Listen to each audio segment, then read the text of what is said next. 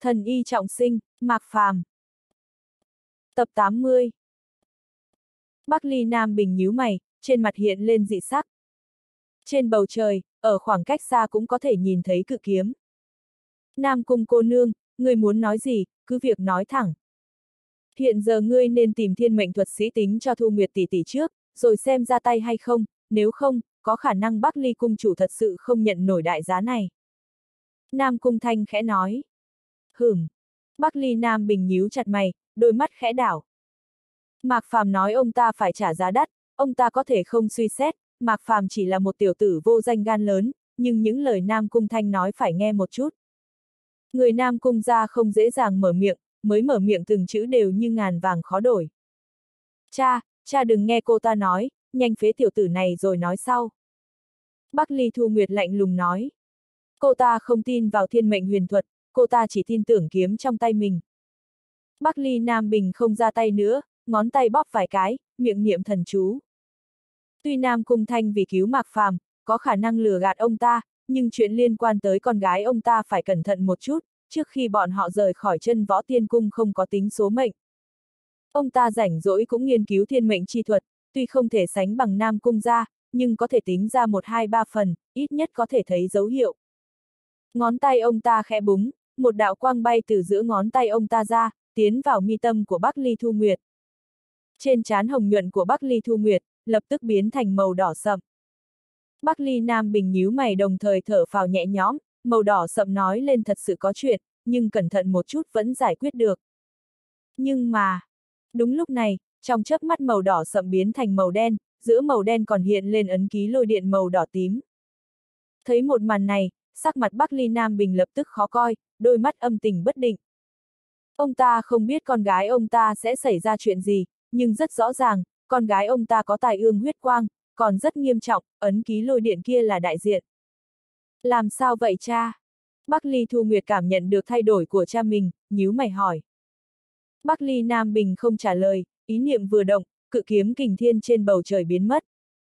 Nam Cung Tiểu Thư, vừa rồi đã đắc tội nhiều, xin hãy thứ lỗi, trước khi Thu Nguyệt đi, quả thật không tìm thiên mệnh thuật sĩ tính cho, không biết Nam Cung Tiểu Thư vừa tính ra cái gì, mong người nói rõ, Bắc Ly Nam Bình ta nhất định sẽ hậu tạ. Ông ta chỉ có thể tính ra Thu Nguyệt xảy ra chuyện ngoài ý muốn, cụ thể là chuyện gì ông ta không biết, chỉ biết cụ thể là chuyện gì, mới có thể phá giải. Chuyện này, người hỏi Mạc Sư Huynh ta thì hơn, Huynh ấy biết rõ hơn ta. Nam Cung Thanh nói. Tuy Mạc Phàm không nói gì, nhưng cô rất chắc chắn Mạc Phàm cũng biết chuyện cô tính ra, nếu không Mạc Phàm sẽ không bình tĩnh như vậy. Cậu ta sao? Bắc Ly Nam Bình nhíu mày, trong mắt hiện lên vẻ khó xử. Vừa rồi ông ta còn muốn giết Mạc Phàm, hiện giờ lại yêu cầu Mạc Phàm, biểu hiện của Nam Cung Thanh làm ông ta khó xử. Ông ta do dự một lát, vẫn kiên trì nói. Tiểu tử, con gái ta xảy ra chuyện gì thế? Vẫn là Bắc Ly Nam Bình, nhưng giọng điệu nhu hòa hơn nhiều.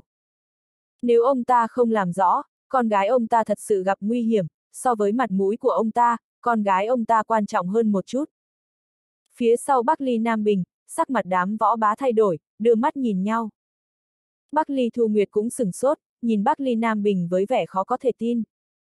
Bảo người khác rời đi trước đã. Mạc Phàm lạnh nhạt nói. Bắc Ly Nam Bình chưa nói tới là người tốt, nhưng là người cha tốt. Tránh ra. Bắc Ly Nam Bình nhìn lướt qua đám võ bá ở phía sau, nói. Đám võ bá vội vàng đi sang một bên, để ra một con đường. Người còn không đi làm việc đi. Mạc Phàm liếc mắt nhìn Trương Thiên Bảo một cái, hỏi. Dạ, sư thúc. Trương Thiên Bảo nhìn Bắc Ly Thu Nguyệt, do dự một lát, thật cẩn thận đi ra ngoài cửa. Những người khác cũng đi đi. Mạc Phàm nhìn thoáng qua đám võ bá, nói. Các ngươi về trước đi. Bắc Ly Nam Bình nói. Đám võ bá nhìn thoáng qua Mạc Phàm, xoay người rời đi. Sư thúc, cho hai bọn họ vào đi. Mạc Phàm cười nhạt một tiếng, nói với vô ngần. Chuyện này, Bắc Ly cung chủ, mời vào. Vô ngần do dự một lát, bàn tay to vung lên, mở trận pháp của phủ đệ. Vừa rồi Bắc Ly Nam Bình không ra tay, hiện giờ hẳn là không ra tay lần nữa. Sắc mặt Bắc Ly Nam Bình khó coi, vào trong phủ đệ. Bắc Ly Thu Nguyệt do dự một lát, vẫn đi theo. Cha rất ít khi như vậy, xem ra lần này rất nghiêm trọng. Chỉ trong phút chốc, đám người đi vào trong đại sảnh phủ đệ. Tiểu tử, người nào ra tay với con gái ta, con gái ta thương tổn tới mức nào, người có liên quan gì tới chuyện con gái ta bị thương? Mới ngồi xuống, Bắc Ly Nam Bình vội vàng hỏi. Mạc Phàm không sốt ruột, cầm bình trà rót trà cho đám vô ngần, vọng cơ, Nam Cung Thanh. Hắn bưng chén trà của mình lên, khẽ nhấp một ngụm nhuận yết hầu, lúc này mở mở miệng. Cô ta, nếu tiếp tục tham gia đại bỉ, sẽ hồn phi phách tán. Hồn phi phách tán.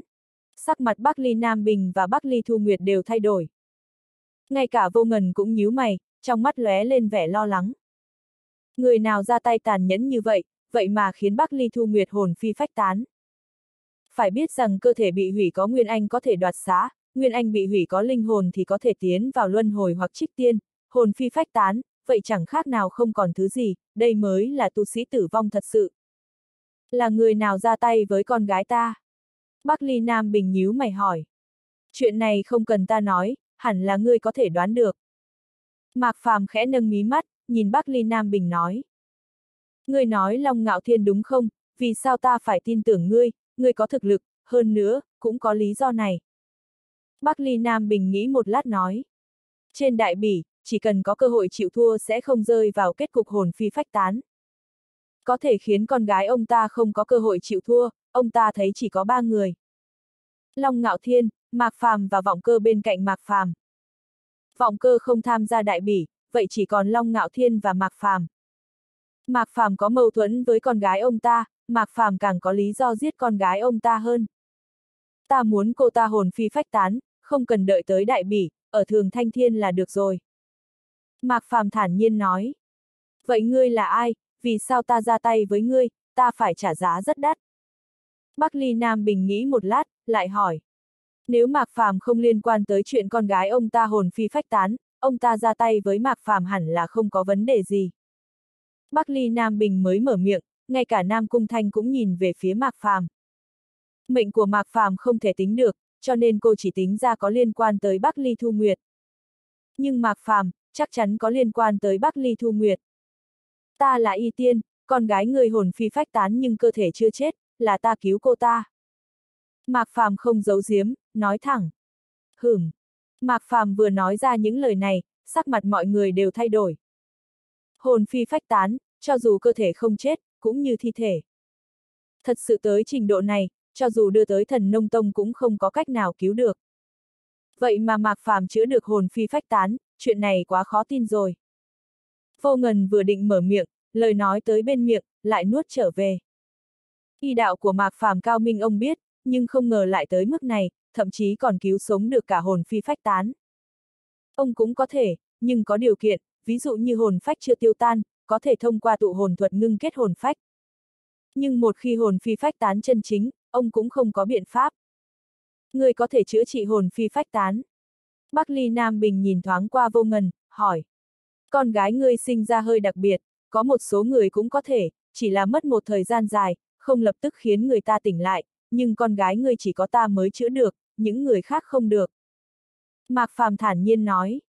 Phần lớn y tiên, đều không có cách nào với hồn phi phách tán. Nhưng phần lớn không bao gồm hắn trong đó, chỉ cần có chút tàn hồn ở đây, hắn có thể chữa khỏi. Trong cơ thể Bắc Ly Thu Nguyệt đã không còn tàn hồn, chỉ dựa vào bản mệnh đang dưỡng hồn phách. Lúc ấy vợ chồng Bắc Ly Nam Bình tìm rất nhiều y tiên nổi tiếng, chỉ riêng thần nông tông đã được mời không ít người, dùng vô số phương pháp cũng không có tác dụng. Lúc hắn nhìn thấy Bắc Ly Thu Nguyệt, tàn hồn này sẽ tắt bất cứ lúc nào như nến. Audio điện tử võ tấn bền. May mà Bắc Ly Thu Nguyệt ôm kiếm mà sinh, thanh kiếm kia trải qua Bắc Ly Thu Nguyệt ôn dưỡng, đã đồng căn đồng mệnh với Bắc Ly Thu Nguyệt. Hắn dùng thanh kiếm này ôn dưỡng tàn hồn kia, không lâu sau, tàn hồn của Bắc Ly Thu Nguyệt mạnh hơn không ít. Tuy hắn không biết sau đó thế nào, nhưng Bắc Ly Thu Nguyệt sẽ hồi phục như cũ. Tiểu tử, người nói những lời này trước mặt vô ngần sư thúc ngươi, có phần hơi tự đại quá rồi. Bắc Ly Nam Bình lạnh lùng nói. Mạc Phàm là đệ tử thông qua hải tuyển, đây không phải bí mật gì, chỉ cần hơi điều tra là biết. Một đệ tử được chọn dựa vào hải tuyển, dám khẩu khí lớn trước mặt vô ngần như vậy, chỉ có hắn mới chữa được cho con gái ông ta, đây là xem thường vô ngần rồi. Bắc Ly cung chủ, người dùng khích tướng này không có tác dụng với ta đâu, vợ vô phong sư đệ sắp tỉnh lại rồi, cũng là nhờ tiểu tử này đưa ra phương pháp. Vô ngần không tức giận nói. Ông không bằng Mạc Phàm không phải một chút, nếu không đã không lựa chọn đứng bên phía Mạc Phàm. Cái gì? Mắt Bắc Ly Nam Bình mở to, lúc nhìn về phía Mạc Phàm, trong mắt đều là không thể tin được. Chuyện giữa vô phong và ma chủ, người cảnh giới như ông ta ở tu chân giới không ai không biết. Phóng nhãn cả tu chân giới cũng không có cách nào, càng không nói thần nông tông, vậy mà Mạc Phàm chữa trị được. Người không tin có thể thử xem, trên người Mạc Phàm có khí thức của vô phong sư đệ hay không? Vô ngần lạnh lùng nói. Bắc Ly Nam Bình nheo mắt, nhìn chằm chằm Mạc Phàm, thần thức bao lấy Mạc Phàm. Thần thức của ông ta vừa tới người Mạc Phàm, chữ chấn kia lập tức lóe lên. Sắc mặt Bắc Ly Nam Bình khẽ đổi, vội vàng thu hồi thần thức. Ông ta quá quen thuộc với chữ chấn này, tuyệt học của vô phong, chấn thiên tuyệt. Thứ này ở trên người Mạc Phàm, vậy không có gì phải hoài nghi lời vô ngần nói. Con gái ta không thù không oán với Long Ngạo Thiên, vì sao Long Ngạo Thiên ra tay tàn nhẫn như vậy? Bắc Ly Nam Bình cảm thấy khó hiểu hỏi. Trên đại bỉ, nếu không có thủ oán, bình thường sẽ không ra tay tàn nhẫn, quan hệ giữa chân võ tiên cung ông ta và ngạo Nhật Sơn Tông coi như không tệ. Không chỉ con gái ông, phàm là người đứng đối diện anh ta, trên cơ bản đều có kết cục này, con gái ông coi như là có vận khí tốt một chút, bảo vệ cơ thể. Mạc Phàm thản nhiên nói. Đại bỉ lần đó, người trên đài với Long Ngạo Thiên chỉ có sư huynh hắn và Bắc Ly Thu Nguyệt còn sống. Chỉ là một người thành phế nhân, một người thành hoạt tử nhân, được hắn cứu. Chuyện này, Bắc Ly Nam Bình nhíu mày, vẻ mặt xoắn suýt. Không phải không có khả năng này, người đứng đầu của ngạo Nhật Sơn Tông không dễ chọc. Hiện giờ xuất hiện một người đi lên thần đạo, lại càng tự cao tự đại, ra tay tàn nhẫn là chuyện bình thường. Không nói đến ngạo Nhật Sơn Tông, mấy ngày nay con gái ông ta cũng phế đi mấy người.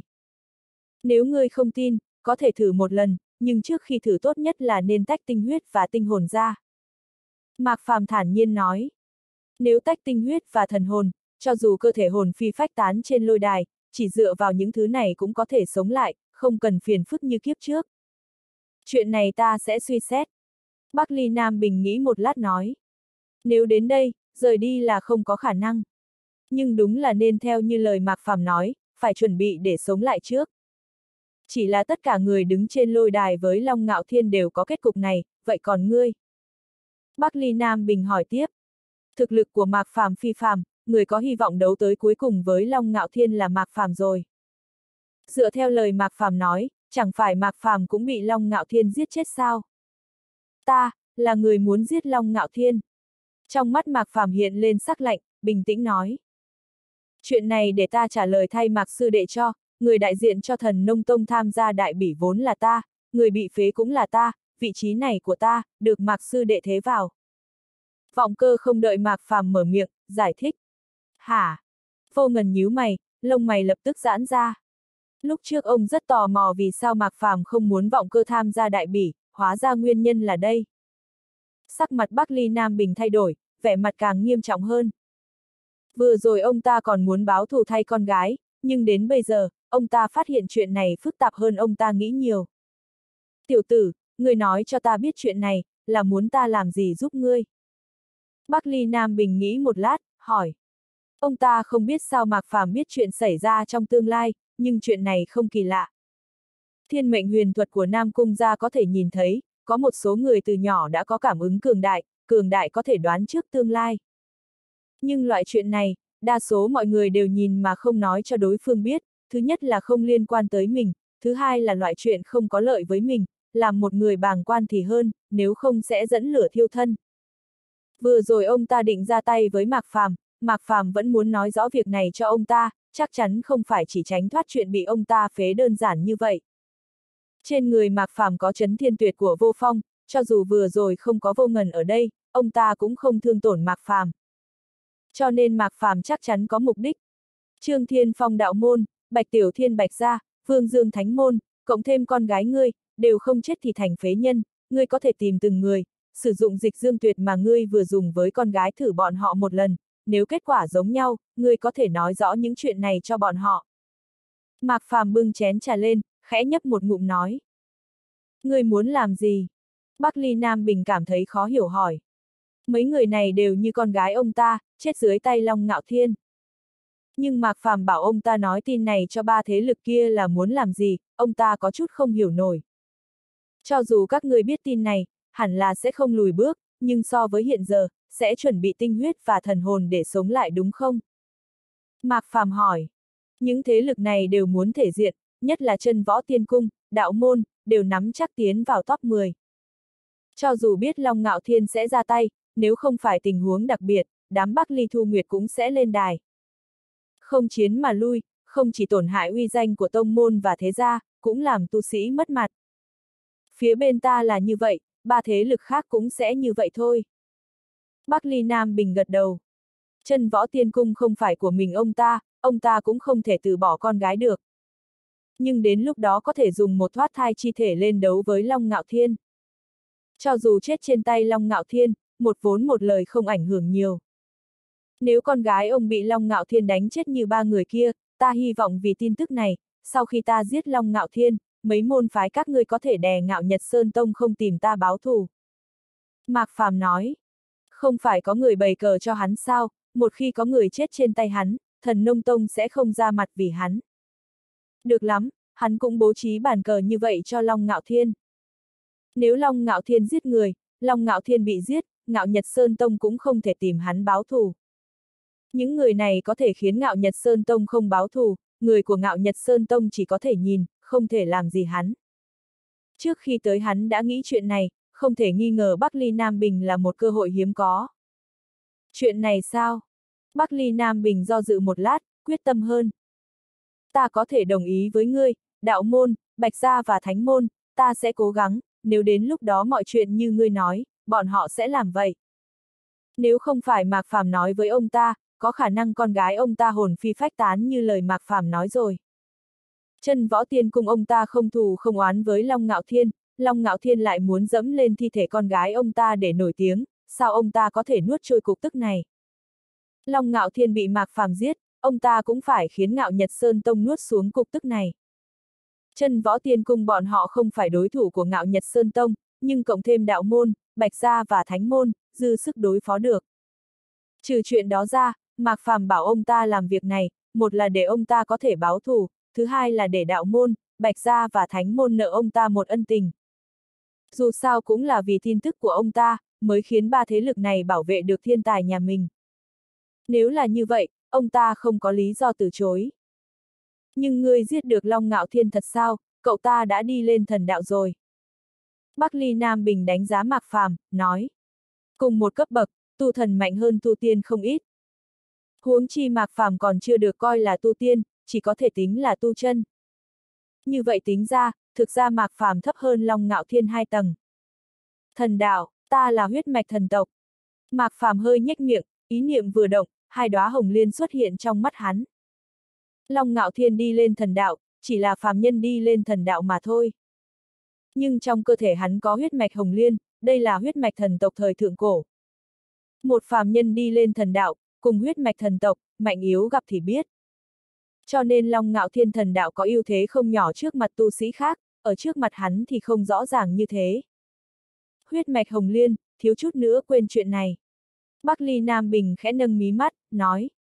Trên tư liệu về Mạc Phàm có ghi chuyện này, chẳng qua ông ta không nhớ tới. Nếu cậu ta thật sự ra tay với mọi người, vậy chỉ mong ngươi có thể giết tên tiểu tử kia, bây giờ ta đi tìm người của đạo môn, bạch gia và thánh môn. Bắc Ly Nam Bình không ở lâu, đứng dậy nói. Cách đại bỉ còn chưa tới hai ngày, có thể thuyết phục ba nhà vẫn nên sớm làm thì hơn. Vậy ta đợi tin tức tốt của Bắc Ly cung chủ. Mạc Phàm gật đầu, tiễn cha con Bắc Ly Nam Bình với đám vô ngần. Chỉ cần chuyện này thành, trên đại bỉ, hắn có thể thoải mái ra tay. Ngày kế tiếp, Mạc Phàm không đi tu luyện, cũng không rời khỏi phủ đệ, chỉ ở trong phòng nói chuyện với Tần Kiệt, tìm hiểu tình hình gần đây của Mạc Gia. Trong khoảng thời gian hắn rời đi, linh khí ở Hoa Hạ sống lại, lại có bảy thế lực đưa tới lượng lớn thiên tài địa bảo, Mạc Gia không ngừng có Nguyên Anh xuất hiện, thực lực vượt thẳng ngũ lão. Tu vi của những người khác không ngừng tăng mạnh, cả Mạc Gia gần như thành thánh địa tu luyện. Không ít thế lực thân thiết với Mạc Gia hơn, luôn tới Mạc Gia ké linh khí. Tiểu Vũ luôn ngủ say trong phong thiên chi địa, trái lại không xảy ra chuyện gì. Cha mẹ hắn biết chuyện tiểu vũ, không kích động lắm, chỉ dựng mấy gian nhà nhỏ gần chỗ tiểu vũ ngủ say, mỗi ngày ở bên tiểu vũ. Nếu không phải bầu trời xuất hiện hai cánh cửa địa ngục, Mạc Gia có thể yên ổn như vậy một hai năm. Phàm là người thuộc Mạc Gia, không ai dám trêu chọc. Không chỉ như vậy, một số chuyện hội ngũ lão không giải quyết được, chỉ cần phái một hai đệ tử Mạc Gia tới, đối phương biết là người Mạc Gia, đã bó tay chịu trói. Chuyện này khiến hội ngũ lão và Long Tổ ra ngoài làm việc, đều mang theo một đệ tử của Mạc Gia. Sư phụ, đợi người trở về địa cầu, nhất định phải tìm hội ngũ lão và Long Tổ đòi phí dịch vụ, những người này dùng linh khí Mạc Gia chúng ta, lấy linh bảo của Mạc Gia chúng ta thì không nói, còn sai bảo đám người Mạc Gia nữa. Tần Kiệt bất mãn nói. Đây là ý muốn của con đúng không? Mạc Phàm lắc đầu cười nói. Tần Kiệt cũng vào Nguyên Anh Kỳ, anh ta tu luyện công pháp không biết mạnh hơn ngũ lão bao nhiêu, tự mình đánh được đám ngũ lão, còn để ý chút đồ này. Cười đùa nhiều rồi, Tần Kiệt hỏi. Sư phụ, khi nào con về địa cầu? Đừng gấp, ta xác nhận một phen trước. Mạc Phàm hơi nhếch miệng, cười nhạt nói. Trải qua một ngày nghỉ ngơi, cơ thể Tần Kiệt gần khôi phục, có thể về địa cầu rồi. Thời gian lâu như vậy, bên phía Trương Thiên Bảo hẳn là an bài xong rồi. Hắn lấy một thông tấn phủ ra, còn chưa truyền tin cho Trương Thiên Bảo, thông tấn phủ đã sáng lên trước. Ý niệm của hắn vừa động, rót chút linh khí vào trong thông tấn phủ, giọng nói đề tiện của Trương Thiên Bảo lập tức vang lên. Mạc Sư Thúc, truyền tống trận đã an bài xong, mọi người mau tới đây, ta ở truyền tống trận ngay xạ Nhật Sơn, đúng rồi, Long Ngạo Thiên Long Sư Thúc cũng ở đây. Mạc Phàm nheo mắt lại, sắc bén xuất hiện trong mắt hắn. Được, Thiên Bảo, người đợi ta một lát, ta lập tức qua đó. Gần xạ Nhật Sơn có tổng cộng hai truyền tống trận, một cái ở chợ, một cái là ngoại giới thông tới xạ Nhật Sơn. Một cái khác ở ngay gần phủ đệ, là thông tới trong đạo môn. Nửa canh giờ sau, Mạc Phàm dẫn theo Tần Kiệt, Vọng Cơ và Nam Cung Thanh đến truyền tống trận gần phủ đệ. Dưới một cái cây bên cạnh truyền tống trận, Long Ngạo Thiên và mấy đệ tử của thần Nông Tông đặt một cái bàn, ngồi uống rượu. Trương Thiên Bảo đang bị dây thừng màu vàng treo trên cây, dưới người anh ta là một đống hỏa diễm màu vàng đang thiêu đốt hừng hực. Tuy không thương tổn tới Trương Thiên Bảo, nhưng hun mặt Trương Thiên Bảo cháy đen, cả người vô cùng chật vật. Trương Thiên Bảo nhìn thấy đám mạc phàm, thì cười tươi.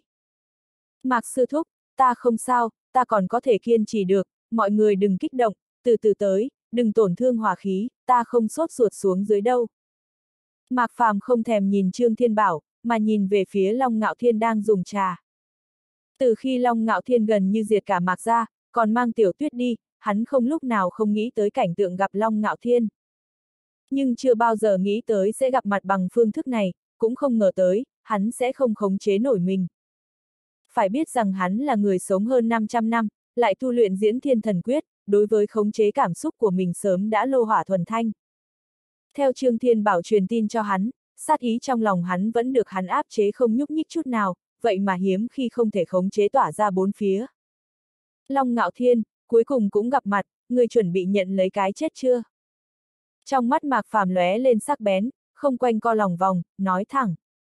Không nói đến Long Ngạo Thiên bắt đi tiểu tuyết, chỉ riêng chuyện khoét mắt tiểu vũ đã đủ khiến Long Ngạo Thiên bị giết vạn lần. Mạc Phàm vừa nói xong, sắc mặt đám vọng cơ ở bên cạnh thay đổi. Bình thường Mạc Phàm khiến người ta có cảm giác bình tĩnh như nước, nhưng Mạc Phàm hiện giờ như một vùng biển băng, phía trên mặt biển còn đầy băng nhọn, hơi vô ý sẽ bị đâm thành mấy mảnh, cho dù bọn họ là người đứng về phía Mạc Phàm, cũng cảm nhận được. Bên cạnh Long Ngạo Thiên, đám đệ tử Ngạo Nhật Sơn Tông nghe thấy lời Mạc Phàm nói, sắc mặt khó coi, đứng dậy, chắn trước người Mạc Phàm, trong mắt đều là bất thiện. Đệ tử thần Nông Tông, người biết người đang nói chuyện với ai không? Một đệ tử lạnh lùng nói. Các ngươi, vẫn nên câm miệng thì hơn, ở đây không đến lượt các ngươi nói chuyện, nói cách khác, có khả năng vĩnh viễn không có biện pháp nói chuyện. Không đợi Mạc Phàm mở miệng, một tay vọng cơ vươn ra, một thanh trường kiếm xuất hiện trong tay hắn. Tiểu tử, người muốn chết à? Đệ tử của ngạo Nhật Sơn Tông nhíu mày, một hư ảnh thần Sơn xuất hiện sau lưng anh ta, một quyền của anh ta không do dự đánh về phía vọng cơ.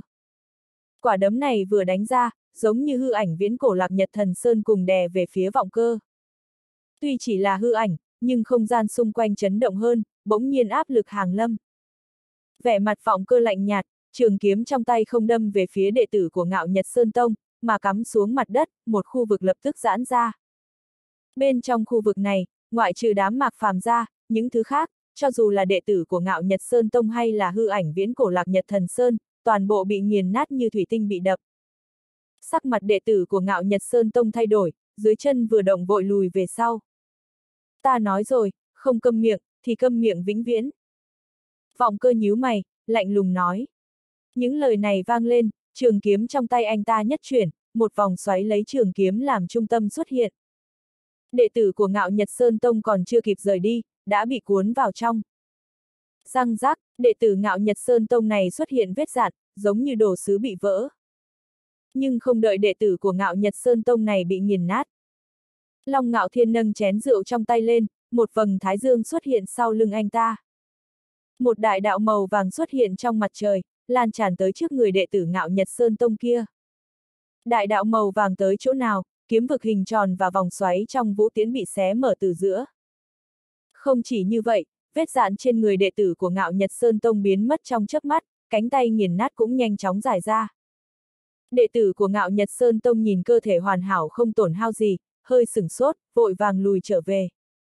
Anh ta tưởng rằng mình xong đời rồi, ai biết cứ thế khôi phục rồi. Đa tạ Long thiếu ra tay cứu giúp. Đệ tử của ngạo Nhật Sơn Tông liếc mắt nhìn vọng cơ với vẻ kỳ lạ, ôm quyền với Long ngạo thiên nói. Các ngươi đều lui ra cả đi, đừng xen miệng vào, quả thật ở đây không có đường sống để các ngươi xen mồm vào. Long ngạo thiên đặt chén rượu xuống, thản nhiên nói. Dạ, Long thiếu. Những đệ tử này không dám làm trái, cúi đầu với Long ngạo thiên, lùi về phía sau Long ngạo thiên. Bọn họ cùng nhìn về phía đám mạc phàm, vốn tưởng rằng đệ tử của thần nông tông không có bản lĩnh gì, đều là quả hồng mềm, muốn thu thập một người giúp Long Ngạo Thiên. Thật không ngờ vọng cơ cường đại như vậy, chỉ một vọng cơ bọn họ đã không thể đối phó được, chẳng bằng lùi lại thì hơn. Long Ngạo Thiên không để ý tới Mạc Phàm, rời mắt nhìn về phía vọng cơ. Người tên là gì, có vài phần thực lực, cũng là người của thần nông tông tham gia đại bỉ sao? Long Ngạo Thiên lạnh giọng hỏi. Trong giọng nói bình tĩnh, đều là không thể làm trái. Vọng cơ dừng cười, cũng không bất ngờ, thu hồi trường kiếm. Người có thể phế anh ta, phá được một kiếm của anh ta cũng không có gì kỳ lạ. Ta chỉ là một đệ tử bình thường của thần nông tông mà thôi, còn chưa đủ thực lực tham gia đại bỉ. Vậy sao, vậy ngươi phải cẩn thận, người làm đệ tử của ngạo Nhật Sơn Tông bọn ta bị thương, không ai có thể chết già. Trong mắt Long Ngạo Thiên lóe lên tinh quang, cười mỉa nói. Khi anh ta nói chuyện, không biết gió lạnh từ đâu thổi tới, khiến người ta có cảm giác không rét mà run. Nhất là Tần Kiệt, anh ta có thực lực yếu nhất trong đám người, còn từng gặp Long Ngạo Thiên một lần, thấy được khủng bố của Long Ngạo Thiên. Dưới gió lạnh, cơ thể anh ta không tự chủ được run lên. Vậy sao, thực lực của ta kém một chút, nhưng đám ca hỗn tạp của ngạo Nhật Sơn Tông ngươi không làm gì được ta đâu, còn ngươi, có chút thực lực, nhưng chỉ hù dọa được đồ đệ của mạc sư đệ một chút, khiến ta sợ thì tỉnh lại đi, vô dụng thôi, người muốn đối phó ta, ít nhất phải sống sót dưới tay mạc sư đệ rồi nói tiếp. Vọng cơ cười khẽ, không chịu ảnh hưởng chút nào, một tay anh ta đặt lên vai Tần Kiệt, một vùng lam quang xuất hiện trên người Tần Kiệt, lúc này Tần Kiệt mới khôi phục như thường. Lông mày long ngạo thiên hơi nhíu lại, cười khinh thường, rời mắt từ người vọng cơ sang nhìn mạc phàm. Tiểu tử, trái lại ngươi khiến ta thật bất ngờ, chỉ trong một năm ngắn ngủi, không chỉ từ tu sĩ thế gian thành đệ tử của thần nông tông, còn khiến một cao thủ tin phục ngươi như vậy, chỉ là quá đáng tiếc, mạng của ngươi chỉ còn mấy ngày ngắn ngủi. Long ngạo thiên cười mỉa nói, giống như đang nói chuyện với một người chết. Tu vi thành thì dễ, muốn thuần phục một cao thủ rất khó. Tuy vừa rồi vọng cơ chỉ tiểu thí nghiêu đao, kém hơn anh ta một chút, nhưng đã là cao thủ trong cao thủ cùng cấp rồi. Một cao thủ như vậy, lại làm lá cây bên cạnh Mạc Phàm, Mạc Phàm lại cho anh ta một bất ngờ không nhỏ. Chỉ là đáng tiếc, Mạc Phàm sống không được mấy ngày. Mạc Phàm nhíu mày, ý niệm vừa động, thu hồi sát khí trên người. Chuyện này, đợi ngươi thắng ta ở đại bỉ lại nói cũng không muộn, bây giờ thả thiên bảo ra.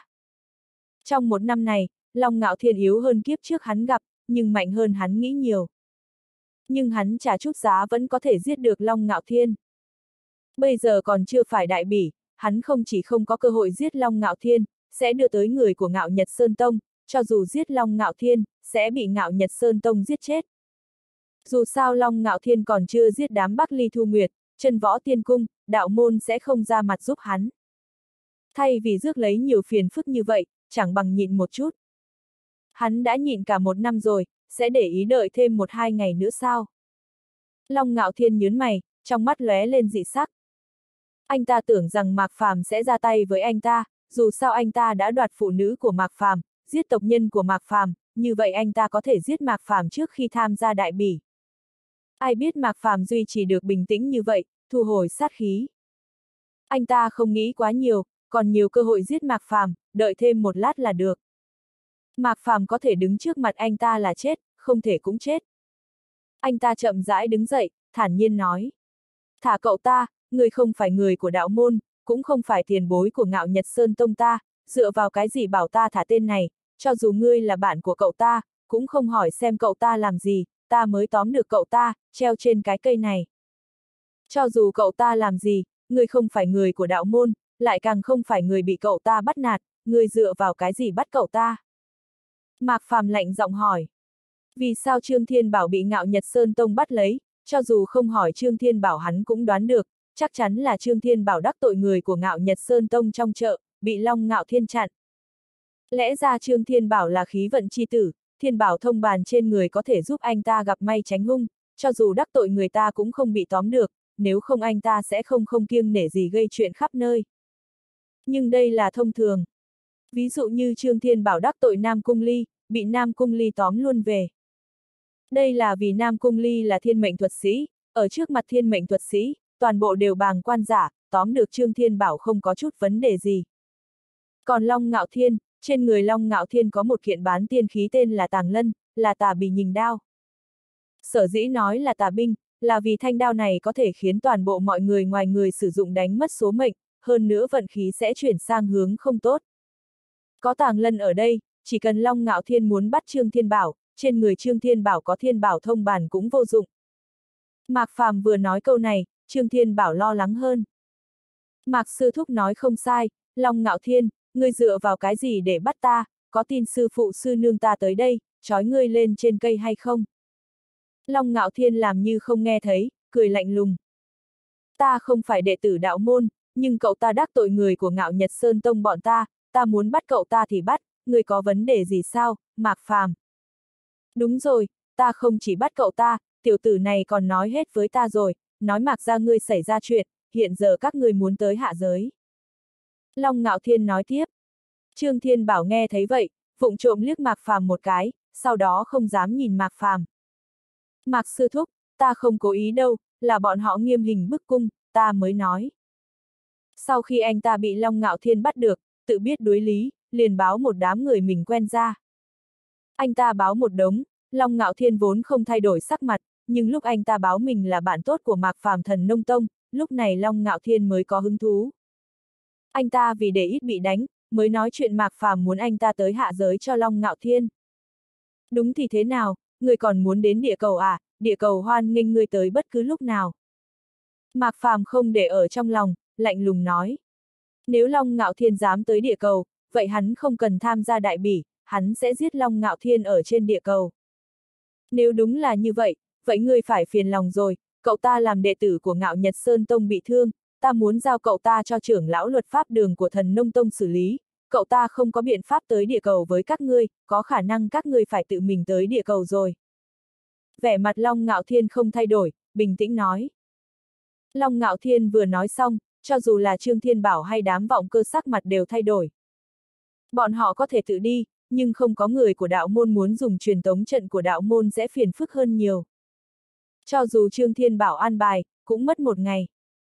Đã chậm chế một ngày, nếu Trương Thiên Bảo bị Long Ngạo Thiên bắt đi, bọn họ không biết lúc nào mới có thể thông qua truyền tống trận tới địa cầu. Long Ngạo Thiên, người muốn thế nào? Mạc Phàm nhíu mày, hỏi. Rất đơn giản, nếu có người làm đệ tử thần nông tông bọn ta bị thương, thì phải có người trả giá thật nhiều, không phải trên người ngươi có huyết mạch hồng liên sao, đúng lúc trên người ta có một chút, nếu hồng liên nghiệp hỏa của ngươi có thể đốt hồng liên nghiệp hỏa của ta trước khi tới chỗ tiểu tử này, cứu cậu ta từ trên cây xuống, vậy ngươi có thể mang cậu ta rời đi, nếu không, hẳn là ngươi từng dùng nghiệp hỏa đối phó không ít người rồi, có lẽ ngươi biết uy lực sau khi nghiệp hỏa cháy. Tiểu tử này làm nhiều chuyện xấu xa như vậy, sẽ không chịu nổi nghiệp hỏa đốt đâu. Long Ngạo Thiên nói xong, một tay anh ta vươn ra, một đám hồng liên nghiệp hỏa xuất hiện trong tay anh ta. Nhìn nghiệp hỏa trên tay Long Ngạo Thiên, Mạc Phàm nhíu mày.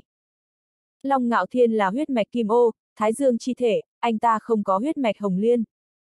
Sở dĩ có thể sử dụng nghiệp hỏa, là vì anh ta luyện hóa mắt của tiểu vũ, còn lấy huyết mạch hồng liên trong cơ thể tiểu vũ dung nhập vào máu mình. Đây hẳn là hồng liên nghiệp hỏa đúng không, người muốn chơi không, đây là phương pháp nhanh nhất người có thể mang tiểu tử này đi đó. Long ngạo thiên hơi nhếch miệng, lạnh nhạt hỏi. Mạc phàm nhíu chặt mày, nắm chặt tay. Long ngạo thiên bày ra nghiệp hỏa, không khác gì nói anh ta khoét mắt tiểu vũ. Nghĩ đến bộ dạng mắt tiểu vũ trống giống, đôi mắt hắn không tự chủ được biến thành đỏ như máu, hai đóa liên hoa huyết sắc nở rộ trong mắt hắn mà ra. Bộ dạng nho nhã, lập tức có thêm vài phần yêu dị. Đôi mắt huyết sắc của Mạc Phàm lạnh lùng nhìn chằm chằm Long Ngạo Thiên. Long Ngạo Thiên, người có biết chơi với lửa có ngày chết cháy là ý gì không? Giọng nói của hắn trầm thấp hơn vừa rồi gấp bội lần. Chơi với lửa có ngày chết cháy sao? Long Ngạo Thiên lắc đầu cười, trong mắt đều là khinh thường. Một tay của anh ta hơi nghiêng, hồng liên nghiệp hỏa chảy xuống tay anh ta, giấy lên trên người anh ta. Chỉ trong phút chốc, anh ta được hồng liên nghiệp hỏa vây quanh. Loại hỏa diễm khác, cho dù ta để nó đốt, cũng không đốt được ta, muốn đốt được ta, nhất định phải là thần hỏa mới được, người còn cách thần hỏa rất xa. Long ngạo thiên cười khinh thường nói. Có thể hay không ngươi thử thì biết. Vẻ mặt mạc phàm lãnh khốc, nói. Long ngạo thiên đi lên thần đạo, nhưng cơ thể vẫn là thái dương chi thể, không đạt tới thể chất chất thần tu. Sở dĩ không bị nghiệp hỏa đốt cháy, chỉ vì anh ta dung hợp nghiệp hỏa, hiệu quả của nghiệp hỏa có hạn với anh ta mà thôi. Nhưng chuyện này không có nghĩa Long Ngạo Thiên miễn dịch với nghiệp hỏa. Huyết mạch trên người Long Ngạo Thiên đến từ Tiểu Vũ, tu vi của Tiểu Vũ vốn còn thấp, huyết mạch cũng không khai phá ra hết, tương đối loãng, cộng thêm bản thân Long Ngạo Thiên không có huyết mạch hồng liên, nghiệp hỏa của anh ta có thể so được với nghiệp hỏa của chính mình sao, nghĩ đơn giản quá rồi. Thôi, hỏa diễm này của ngươi đốt tâm hồn con người còn được, đốt đoạn dây thừng kia thì kém xa, ngươi dùng hỏa diễm khác đi, chỉ cần ngươi có thể đốt sợi dây thừng kia trước khi nghiệp hỏa đốt sạch tiểu tử này là được. Long Ngạo Thiên thản nhiên nói. Nói xong, một tay của Long Ngạo Thiên vươn ra, nghiệp hỏa trên người anh ta lập tức nhập vào tay anh ta. Anh ta ném một cái, đốm lửa này rơi xuống đốm lửa dưới người Trương Thiên Bảo. Hồng Liên nghiệp hỏa lan về phía trước, cách Trương Thiên Bảo càng ngày càng gần. Trên dây thừng, sắc mặt Trương Thiên Bảo thay đổi, vội vàng kêu lên. Sư thúc, sư thúc, nhanh cứu ta, hỏa diễm này sắp cháy tới mông rồi. Sao anh ta có thể không biết Hồng Liên nghiệp hỏa, phàm là phạm chuyện xấu, gặp được hỏa diễm này có thể nói là muốn sống không được, một khi bị dính vào, nếu không thể tránh đi thì dính vào chỗ nào phải chém chỗ đó, nếu không cho dù là đốm nhỏ, cũng bị thiêu thành cho tàn. Hiện giờ anh ta bị dây thừng quỷ quái trói lấy, trên người không thể sử dụng chút linh khí, nếu bị đốt thì xong đời rồi. Mạc Phàm liếc mắt nhìn Trương Thiên Bảo một cái, nhíu mày, lông mày lập tức giãn ra. Thứ nhất, ta không thân thiết với đệ tử đạo môn lắm, chỉ từng gặp nhau mấy lần, sư nương của cậu ta là đệ tử của thần nông tông mà thôi. Giữa không trung, Trương Thiên Bảo nghe thấy lời Mạc Phàm nói, vẻ mặt ngẩn ra, giống như nghe nhầm, ngay sau đó anh ta không ngừng vùng vẫy trong không trung, muốn để đây thường đong đưa, tránh bị nghiệp hỏa đốt. Sư thúc, chúng ta cùng tiến vào bí cảnh, sao người có thể nói như vậy, người nhanh cứu ta đi, ta sắp bị nghiệp hỏa đốt rồi. Mạc Phàm làm như không nghe thấy, nhìn về phía Long Ngạo Thiên. Thứ hai, người đốt cháy đệ tử của đạo môn, vậy đại bỉ ngươi đừng tham gia nữa, thứ nhất đại bỉ lần này là của thần nông tông bọn ta. Trước khi đại bỉ có nhiều người ra tay, nhưng một nửa sẽ không giết chết đối phương, Long Ngạo Thiên đốt cháy Trương Thiên Bảo ở đạo môn, chỉ có thể rời khỏi đạo môn, nếu không đạo môn sẽ không bỏ qua. Thứ ba, người đốt cháy cậu ta đi, người đốt cháy, ta lại cứu sống là được, chuyện này không khó với ta. Mạc Phàm lại nói tiếp. Tuy hắn có thể cứu sống Trương Thiên Bảo chết dưới nghiệp hỏa, nhưng Trương Thiên Bảo chớp mắt, không thể tin vào lỗ tai mình. Sư thúc, chẳng phải phương pháp này rất tàn nhẫn sao, người nhanh cứu ta xuống đi, ta trời sinh sợ đau. Trương Thiên Bảo khóc không ra nước mắt nói. Anh ta không muốn bị chết cháy, sau đó lại được cứu trở về, nghe qua giống như không sao, nhưng không ai nguyện ý chịu hành hạ như vậy. Thiếu chút nữa quên mất, ngươi còn là y tiên, nhưng mà ngươi cảm thấy làm như vậy, ta không có biện pháp khác sao? Long Ngạo Thiên cười lạnh lùng, nói.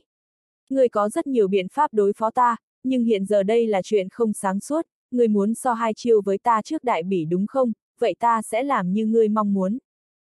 Trong mắt Mạc Phàm lóe lên tinh quang, vung tay lên. Tảng đá trên đất tự dâng lên, hóa thành mấy cái bàn và ghế. Cả tòa núi này là một tòa linh sơn, cái bàn đều như ngọc thạch, vô cùng tinh xảo. Mạc Phàm ngồi xuống ghế, Vọng Cơ và Nam Cung Thanh cũng ngồi xuống theo, Tần Kiệt thì đứng sau lưng Mạc Phàm. Nhẫn trên tay Mạc Phàm sáng lên, một bộ trà cụ xuất hiện trước người hắn, hắn rót ra ba chén, hai chén tự động bay tới trước người Vọng Cơ và Nam Cung Thanh. Long Ngạo Thiên nhớn mày, trong mắt hiện lên hứng thú. Người muốn chơi thế nào? Ra tay với một đệ tử hậu bối đạo môn, quá cấp thấp, hơn nữa sinh tử của cậu ta không ảnh hưởng nhiều tới người ta, muốn chơi như vậy thì chơi, ta nghe nói đạo môn trấn áp một ma vương, được xưng là bất tử, bằng không người ta chơi với ma vương, người cảm thấy thế nào? Ma vương này là tổ sư đạo môn trấn áp, đã trên vạn năm, ma vương này vẫn sống sót phía sau núi đạo môn. Bởi vì sự tồn tại của ma vương, phía sau núi đạo môn thành một vùng ma vực. Đạo môn còn chưa ra tay hủy diệt vùng ma vực này, hiện giờ nơi này thành nơi rèn luyện của đạo môn. Long Ngạo Thiên muốn chơi với hắn, vậy đến nơi này tìm ma vương chơi, bắt nạt một đệ tử hậu bối thật sự không dậy nổi hứng thú của hắn. Long Ngạo Thiên nhíu mày, trong mắt hiện lên sắc lạnh. Người muốn tìm cái chết, vậy ta có thể phụng bồi. Tất nhiên là anh ta biết nơi này, nhưng nơi đó của đạo môn thích hợp cho tu sĩ hợp đạo kỳ rèn luyện, bọn họ có tu vi như vậy đi vào, không khác gì đưa đồ ăn. Mạc Phàm giống như đã sớm dự đoán được sẽ như vậy, cười khẽ. Nơi này đối với hắn và Long Ngạo Thiên mà nói, quả thật vô cùng nguy hiểm, tu sĩ hợp đạo kỳ đi vào cũng chưa chắc ra được. Nhất là bọn họ một người đi lên thần đạo, một người có huyết mạch thần tộc, thần ma bất lưỡng lập, một khi bọn họ bị cảm ứng được, sẽ hấp dẫn lượng lớn ma vật tới tấn công bọn họ. Người đã không dám, vậy chúng ta đổi cách khác, thần đạo của ta đi tới 99 mét, trên người ta có huyết mạch hồng liên, mới có thể khiến người càng tiến thêm một bước đúng không? Ngạo Nhật Sơn Tông khai Sơn Thủy Tổ chiếm được cổ thần tu di chỉ, mới có quy mô hiện giờ. Trong môn phái, phần lớn mọi người tu tiên, cấp cao đều là tu thần đạo. Nhưng nhất mạch bọn họ, có một số là thần vu nhất mạch, am hiểu dùng huyết mạch thần tộc, hiến tế để đạt được lực lượng lâu dài. Nếu không có huyết mạch hồng liên trên người tiểu vũ, Long Ngạo Thiên đã không đi xa được như thế. Nhưng dù mạnh như Ngạo Nhật Sơn Tông cũng không có khả năng tìm đủ huyết mạch thần tộc, hiến tế cho Long Ngạo Thiên, huyết mạch hồng liên trên người hắn, là đủ rồi. Không sai, quả thật ta cần huyết mạch hồng liên của ngươi, ngươi muốn dùng huyết mạch trên người ngươi làm đặt cược sao? Long Ngạo Thiên nhớn mày, trước mắt sáng lên nói. Huyết mạch trên người Mạc Phàm mạnh hơn nha đầu kia nhiều lắm, quả thật anh ta có dự tính thu hoạch huyết mạch trên người Mạc Phàm. Đánh cược chúng ta ai có thể sống trên đại bỉ. Mạc Phàm nheo mắt nói. Có thể thì có thể, nhưng nếu ngươi chết, tất nhiên huyết mạch của ngươi là của ta, ngươi lấy thứ thuộc về ta ra đánh cược, ngươi cảm thấy ta đồng ý sao? Long Ngạo Thiên cười lạnh lùng nói. Trên đại bỉ, một khi đánh chết đối phương, thì có thể cướp đồ của đối phương. Vẻ mặt Mạc Phàm lạnh nhạt bưng chén trà lên, khẽ nhấp một ngụm, lúc này mới ngẩng đầu. Chuyện này cần ngươi có thực lực mạnh hơn ta nhiều, nhưng rõ ràng là ngươi không có, cho dù ngươi có thể giết chết ta, ngươi cảm thấy ta sẽ cho ngươi thực hiện được, lấy đồ trên người ta sao? Đương nhiên ngươi hoàn toàn có thể tự tin mình có thực lực này, nhưng vậy ngươi phải mạo hiểm, nhỡ đâu ngươi không có, ngươi sẽ không chiếm được thứ gì. Mạc Phàm cười khẽ, nói tiếp. Long ngạo thiên nhíu mày, đôi mắt khẽ đảo. Ngươi muốn gì?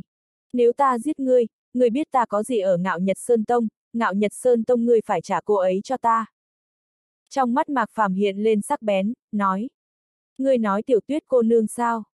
Long ngạo thiên cười lạnh lùng, nói. Ngươi dám không? Mạc Phàm không trả lời, hỏi ngược lại.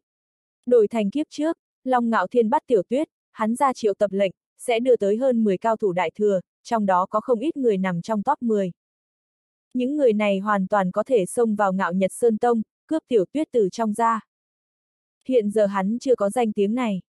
Vậy thì dùng huyết mạch hồng liên của hắn, đổi lấy tiểu tuyết. Trái lại người rất có lòng với tiểu tuyết cô nương, nhưng người cảm thấy ta sẽ đồng ý sao? Long ngạo thiên hơi nhếch miệng, cười nói. Anh ta thân là thiên tài của ngạo Nhật Sơn Tông, có không biết bao nhiêu nữ tử thế gia, tông môn muốn bám vào anh ta, bao gồm cả đại tiểu thư thượng quan gia còn định hôn nhân với anh ta. Nhưng anh ta không có chút hứng thú với những người phụ nữ này. Chỉ là khi anh ta thấy bạch tiểu tuyết đầu tiên, liền có cảm giác động tâm, giống như nhìn thấy một kiện tiên khí tuyệt thế, có ý nghĩ chiếm cô làm của riêng. Bạch Tiểu Tuyết đã được anh ta mang tới ngạo Nhật Sơn Tông, Mạc Phàm muốn lấy lại là chuyện không có khả năng. Cho dù Mạc Phàm dùng huyết mạch hồng liên để đổi, cũng không được. Tuy thần chi huyết rất quan trọng với anh ta, nhưng chưa chân quý tới mức đổi được Bạch Tiểu Tuyết. Huyết dịch thần tộc, sớm muộn gì anh ta cũng tìm được. Cho dù không có huyết dịch thần tộc, sớm muộn gì anh ta cũng có thể đột phá đại quan trăm mét thần đạo. Mạc Phàm nhíu mày, sắc bén trong mắt lại rét lạnh vài phần. Bắc Ly Nam Bình đã liên lạc với ba thế lực kia, nếu không có gì bất ngờ xảy ra, hắn có thể không chịu trách nhiệm chuyện đánh chết Long Ngạo Thiên. Còn lại, phải suy xét nên cứu tiểu tuyết thế nào. Đánh cược định ra trước khi tham gia đại bỉ, là phương pháp mang tiểu tuyết về dễ nhất. Nhưng vậy mà Long Ngạo Thiên từ chối. Giá trị của tiểu tuyết không cần Long Ngạo Thiên nói, đừng nói là huyết mạch hồng liên, cho dù dùng cả tu chân giới hắn cũng không đổi. Nhưng ngươi đã muốn phụ nữ, ta có một vị hôn thê chưa qua cửa, tên là Thượng Quan Ngưng, nếu ngươi có hứng thú, ta có thể dùng cô ta làm đặt cược. Long Ngạo Thiên cảm nhận được khí lạnh trên người Mạc Phàm, cười nói. Long Ngạo Thiên vừa nói câu này, Nam Cung Thanh và Vọng Cơ nhíu mày. Mạc Phàm nheo mắt lại, sắc bén trong mắt lại sắc bén hơn nhiều. Kiếp trước, hắn không thân với Thượng Quan Ngưng lắm, chỉ tiếp xúc vài lần, Thượng Quan Ngưng là một cô gái không tệ. Vậy mà Long Ngạo Thiên coi Thượng Quan Nhi là món hàng, tùy tiện giao dịch. Người cảm thấy người có thể lấy được Thượng Quan Ngưng sao? Tiếp trước Thượng Quan Ngưng thất thế trong lúc tranh đoạt vị trí gia chủ Thượng Quan gia, lúc này mới gả cho Long Ngạo Thiên. Nhưng bây giờ có hắn luyện chế Chu Tước Kiệt và Càn Khôn Tứ Tượng Đan giúp Thượng Quan Ngưng, Thượng Quan Ngưng còn cần gả cho Long Ngạo Thiên nữa sao? Chuyện này không cần ngươi quan tâm, nếu ngươi không thích Thượng Quan Ngưng, ta có thể đổi một người, hoặc mấy người cho ngươi đều được, đương nhiên ngươi có thể nói ra yêu cầu khác, trong tay ta có không ít đồ, có khả năng ngươi chưa từng thấy, nói không chừng có thứ ngươi muốn, tiểu tuyết cô nương, ngươi đừng nghĩ tới nữa. Long Ngạo Thiên nói với vẻ khinh thường. Anh ta vốn không có cảm giác với thượng quan ngưng, là cha anh ta định ra, không lấy được thì càng tốt. Mạc Phàm lắc đầu cười, Long Ngạo Thiên đúng là nói khoác mà không biết ngược, hắn chưa từng thấy sao. Kiếp trước, hắn cũng là phía trước xảy ra mâu thuẫn với Long Ngạo Thiên, phía sau tu chân giới chỉ có tên y tiên bất tử hắn, vốn không có thiên tài Long Ngạo Thiên của Ngạo Nhật Sơn Tông. Trong tay của ngươi, thật sự không có thứ ta coi trọng, tiểu tuyết, cũng là ngươi thừa dịp ta đang bế quan, cướp từ địa cầu đi. Đó chính là không đồng ý sao? Long Ngạo Thiên nhíu mày, trong mắt lộ ra chút không hài lòng. Trên đại bỉ, dựa vào bản lĩnh riêng đi. Vẻ mặt mạc phàm lạnh nhạt, chậm rãi đứng dậy. Nếu như vậy không được, vậy thì giết Long Ngạo Thiên trước. Chuyện tiểu tuyết, sau này hắn nghĩ biện pháp. Xông vào Ngạo Nhật Sơn Tông là không thể được, có lẽ vô phong sư thúc sẽ đồng ý, nhưng chỉ dựa vào mình vô phong sư thúc, không thể xâm nhập vào Ngạo Nhật Sơn Tông mang tiểu tuyết rời đi.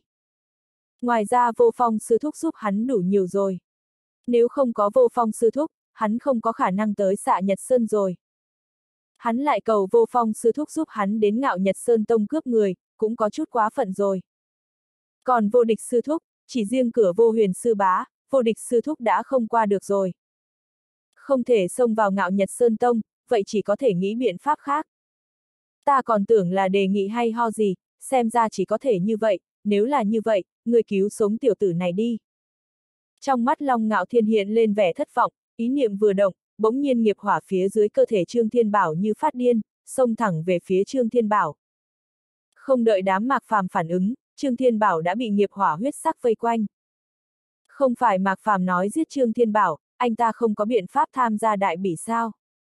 Anh ta sẽ cho mạc phàm nhìn xem, anh ta đốt cháy Trương Thiên Bảo, anh ta tham gia đại bỉ thế nào.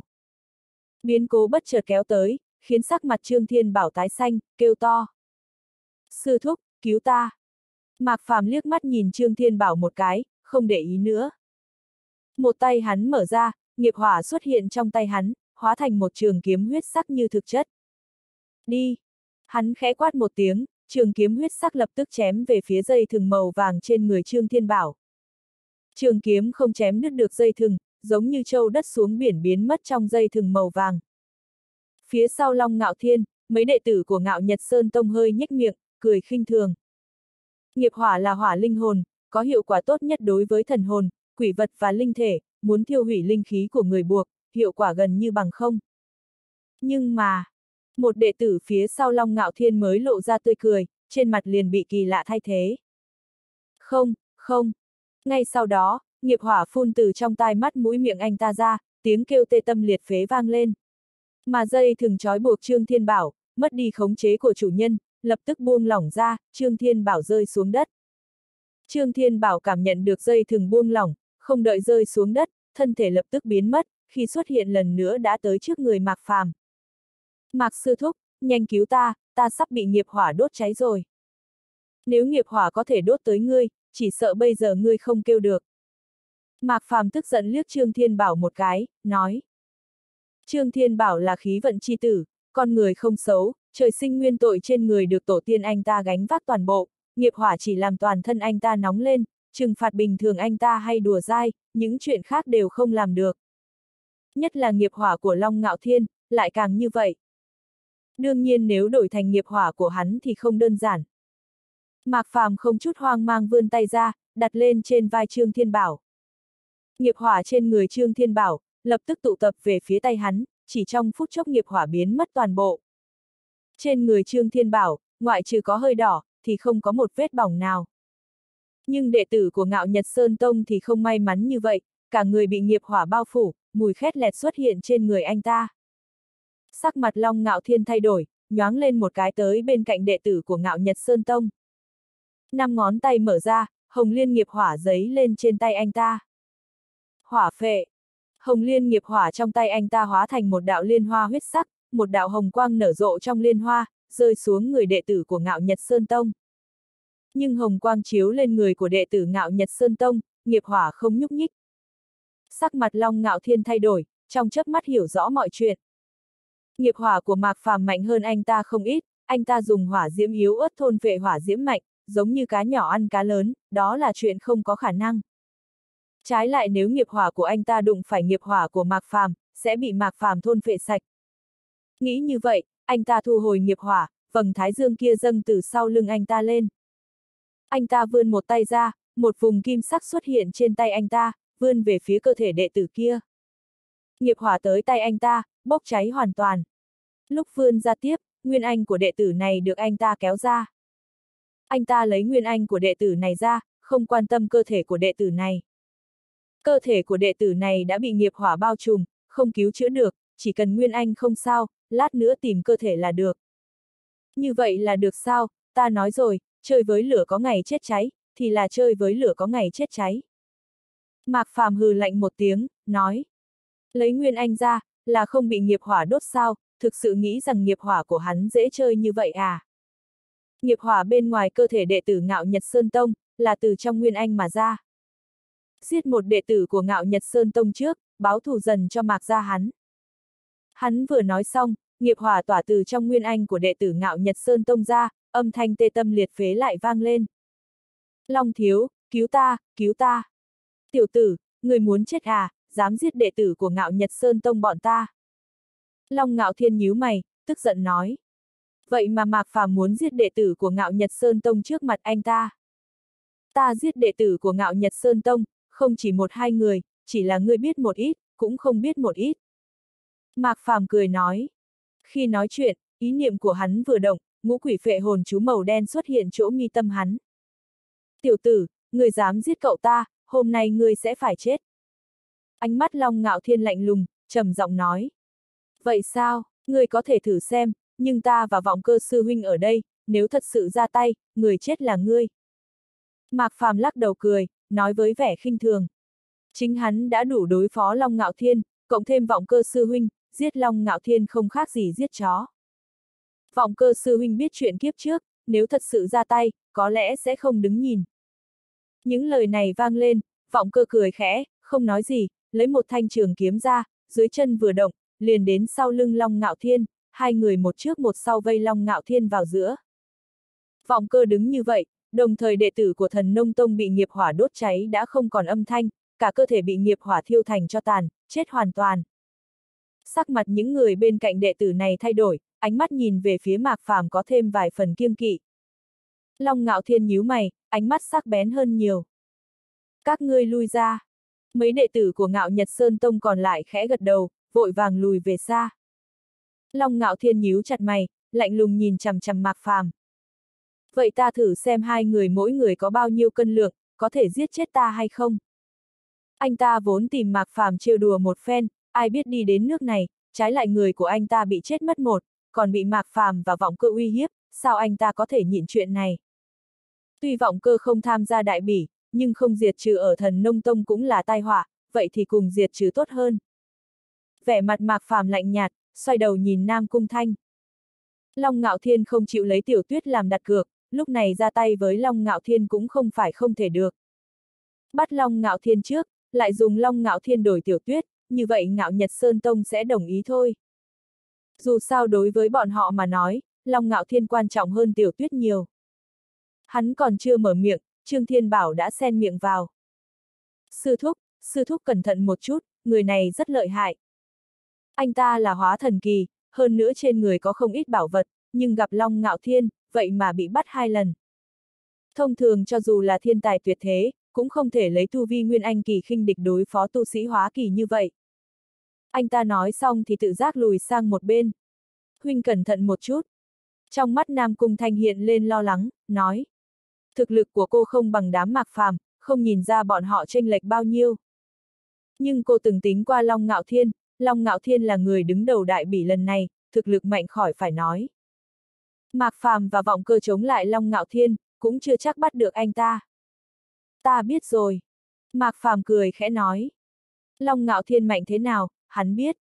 Nam Cung Thanh nghe thấy lời Mạc Phàm nói, không nói gì thêm, lùi sang một bên. Chỉ trong phút chốc, xung quanh chỉ còn Mạc Phàm, Vọng Cơ và Long Ngạo Thiên. Mạc Phàm, hôm nay ta sẽ cho các người biết, có một số người không phải ngươi có thể trêu chọc. Long Ngạo Thiên nhíu mày, nói. Lúc nói chuyện, một vùng thái dương chi môn xuất hiện sau lưng anh ta.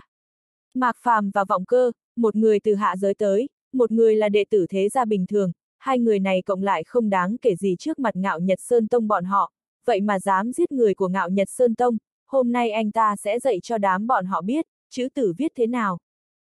Mạc Phàm lắc đầu cười, trường kiếm cửu tinh xuất hiện trong tay hắn. Chín ngôi sao ở phía trên, lần lượt phát sáng.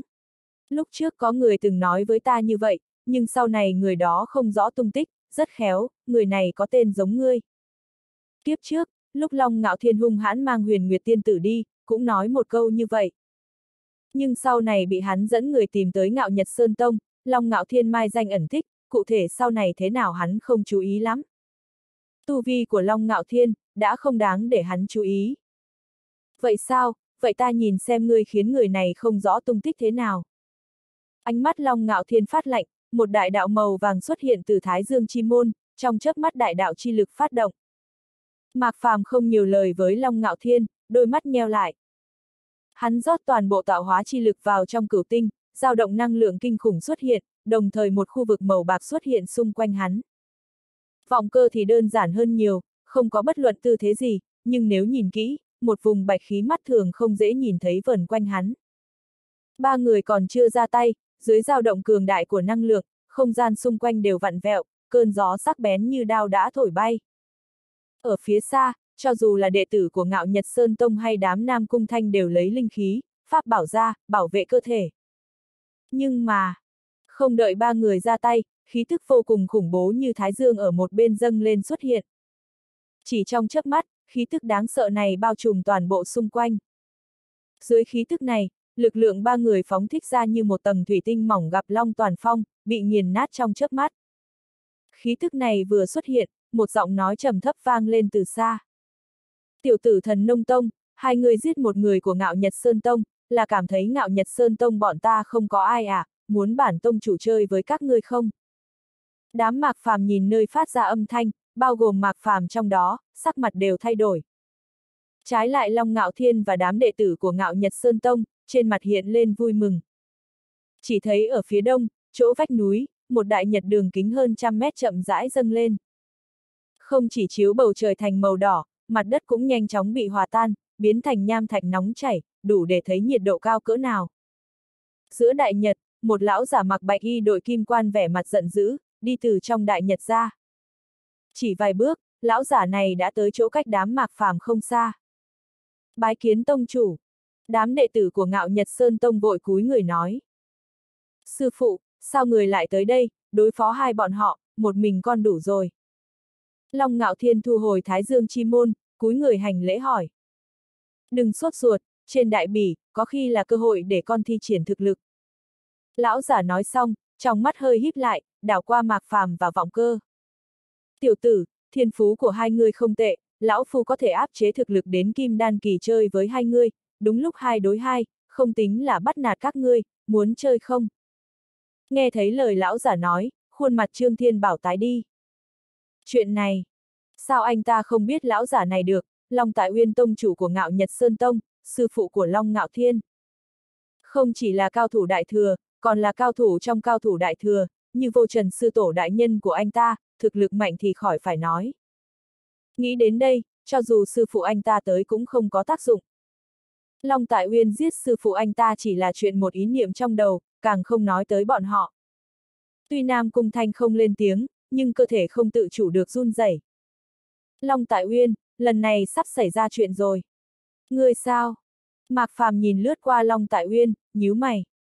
Tất nhiên là hắn biết lão giả này, kiếp trước là ông ta ra mặt bảo vệ Long Ngạo Thiên, cuối cùng do sư phụ hắn giải quyết ân oán giữa hắn và Long Ngạo Thiên. Người muốn áp chế đến Kim Đan Kỳ cũng được, nhưng nhất định phải do ta phòng ấn ngươi, tránh để ngươi sử dụng lực lượng ngoài Kim Đan, ngoài ra nếu ngươi chết trên tay bọn ta, vậy đừng trách bọn ta, so đấu khó tránh khỏi sinh tử, tông chủ dám chơi không? Thực lực áp chế đến Kim Đan Kỳ, cao thủ đại thừa thì thế nào, ở dưới tay vọng cơ sư huynh và hắn chỉ là gà đất chó kiểng. Chỉ cần Long Tại Uyên dám phong ấn thực lực tới Kim Đan Kỳ, hơn nữa Long Tại Uyên không thể cởi bỏ phong ấn, hôm nay có thể giết chết ông ta. Mạc Phàm vừa nói những lời này, cơ thể Trương Thiên Bảo run lên, giống như bị sét đánh. Mạc Phàm quá lớn gan rồi, vậy mà nói chuyện với Long Tại Uyên như thế, thậm chí còn nói trước mặt Long Tại Uyên là có khả năng giết chết Long Tại Uyên. Cho dù thực lực của Long Tại Uyên bị phong ấn tới Kim Đan Kỳ, có lẽ Mạc Phàm cũng không có bản lĩnh giết Long Tại Uyên. Cao thủ đại thừa có rất nhiều huyền diệu, bọn họ không thể cảm nhận được. Cho dù Long Tại Uyên để Mạc Phàm phong ấn, một đệ tử Nguyên Anh có thể phong ấn cao thủ đại thừa sao? Chuyện này giống như con kiến trói buộc cự long, con kiến cho rằng trói rất chặt, thực ra tự cho là đúng mà thôi. Ngay cả vọng cơ trong mắt cũng lóe lên dị sắc, một mình anh ta đối phó Long Ngạo Thiên anh ta có nắm chắc. Nhưng bảo anh ta đối phó cao thủ đại thừa áp chế đến Kim Đan Kỳ, anh ta không nắm chắc. Cho dù cao thủ đại thừa áp chế thực lực đến cảnh giới phàm nhân, giơ tay nhấc chân đều mang theo lực lượng, bọn họ khó mà đối phó được. Long Ngạo Thiên và mấy đệ tử của Ngạo Nhật Sơn Tông thì cười, ánh mắt nhìn Mạc Phàm như nhìn người chết. Vừa rồi bọn họ e ngại Mạc Phàm, nhưng Mạc Phàm hiện giờ không có gì phải sợ. Cho dù là tông chủ của thần nông tông, cũng không dám khoác loác có thể giết được tông chủ của bọn họ. Lá gan của Mạc Phàm không nhỏ, chỉ là mệnh quá ngắn. Tiểu tử, có lẽ ngươi là người lớn gan nhất thần nông tông, nhưng cũng ngu ngốc nhất. Long Tại Uyên nheo mắt, cười mỉa nói. Đã ngàn năm rồi, ông ta không nghe thấy có người nói giết được ông ta. Cũng không phải không ai dám nói, chỉ là không ai có thực lực này. Thật không ngờ, vậy mà một tiểu tử Nguyên Anh lại dám mở miệng nói như thế. Rốt cuộc là ai ngu ngốc, phải thử mới biết, người dám không, Long Tại Uyên Tông Chủ.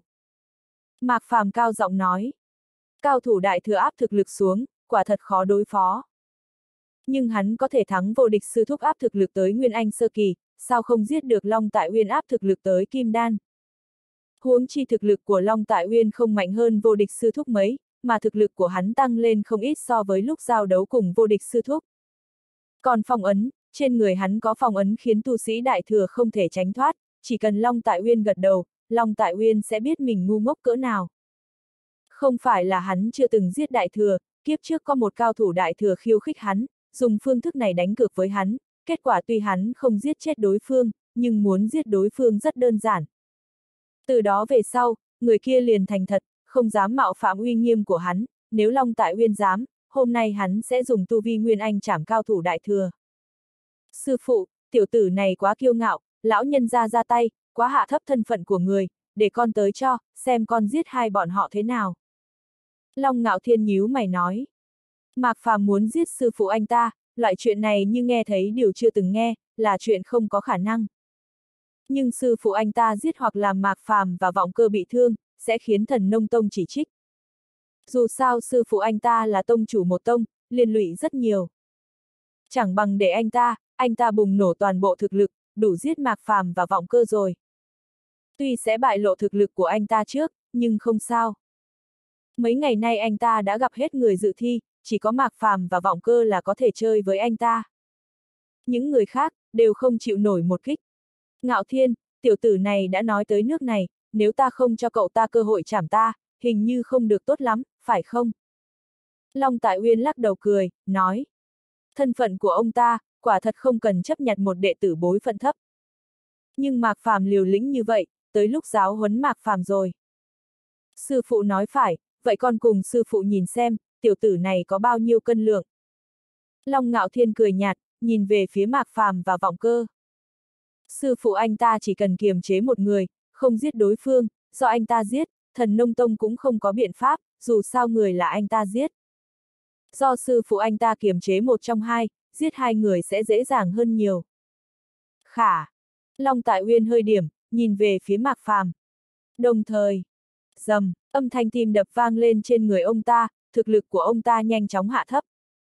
Chỗ cũ, thái dương màu đỏ vĩ đại cũng thu nhỏ lại theo. Chỉ trong phút chốc, thái dương màu đỏ chỉ to như mặt trời trên bầu trời, thực lực của Long Tại Uyên cũng giảm tới kim đan trung kỳ. Nhưng Long Tại Uyên không có ý để Mạc Phàm phong ấn. Hai người có thể bắt đầu, không phải ngươi nói ta có khả năng sẽ chết sao, vậy ta tới làm đối thủ của ngươi. Long Tại Uyên nhìn thoáng qua vọng cơ, ánh mắt nhìn về phía Mạc Phàm. Mạc Phàm nhíu mày, trong mắt hiện lên sắc lạnh, kiếp trước sau khi hắn xung đột với ngạo Nhật Sơn Tông, sư phụ hắn từng nói, Long Tại Uyên không phải người tốt lành gì, quả nhiên là như vậy. Long Tại Uyên tự mình phong ấn, mà không để cho hắn phong ấn. Như vậy Long Tại Uyên có thể phá giải phong ấn bất cứ lúc nào, dựng bất bại bất tử chi địa. Chỉ có mình vọng cơ sư huynh đối phó Long Ngạo Thiên, tuy thực lực của vọng cơ sư huynh tăng nhiều, nhưng hắn không biết kiếp trước vọng cơ sư huynh đối mặt với Long Ngạo Thiên là cảnh giới gì. Dù sao vọng cơ sư huynh đạt được cơ duyên hắn cho, rất có khả năng bỏ lỡ cơ duyên kiếp trước của mình. Như vậy tuy vọng cơ sư huynh không tham gia đại bỉ, cũng có khả năng chết dưới tay Long Ngạo Thiên.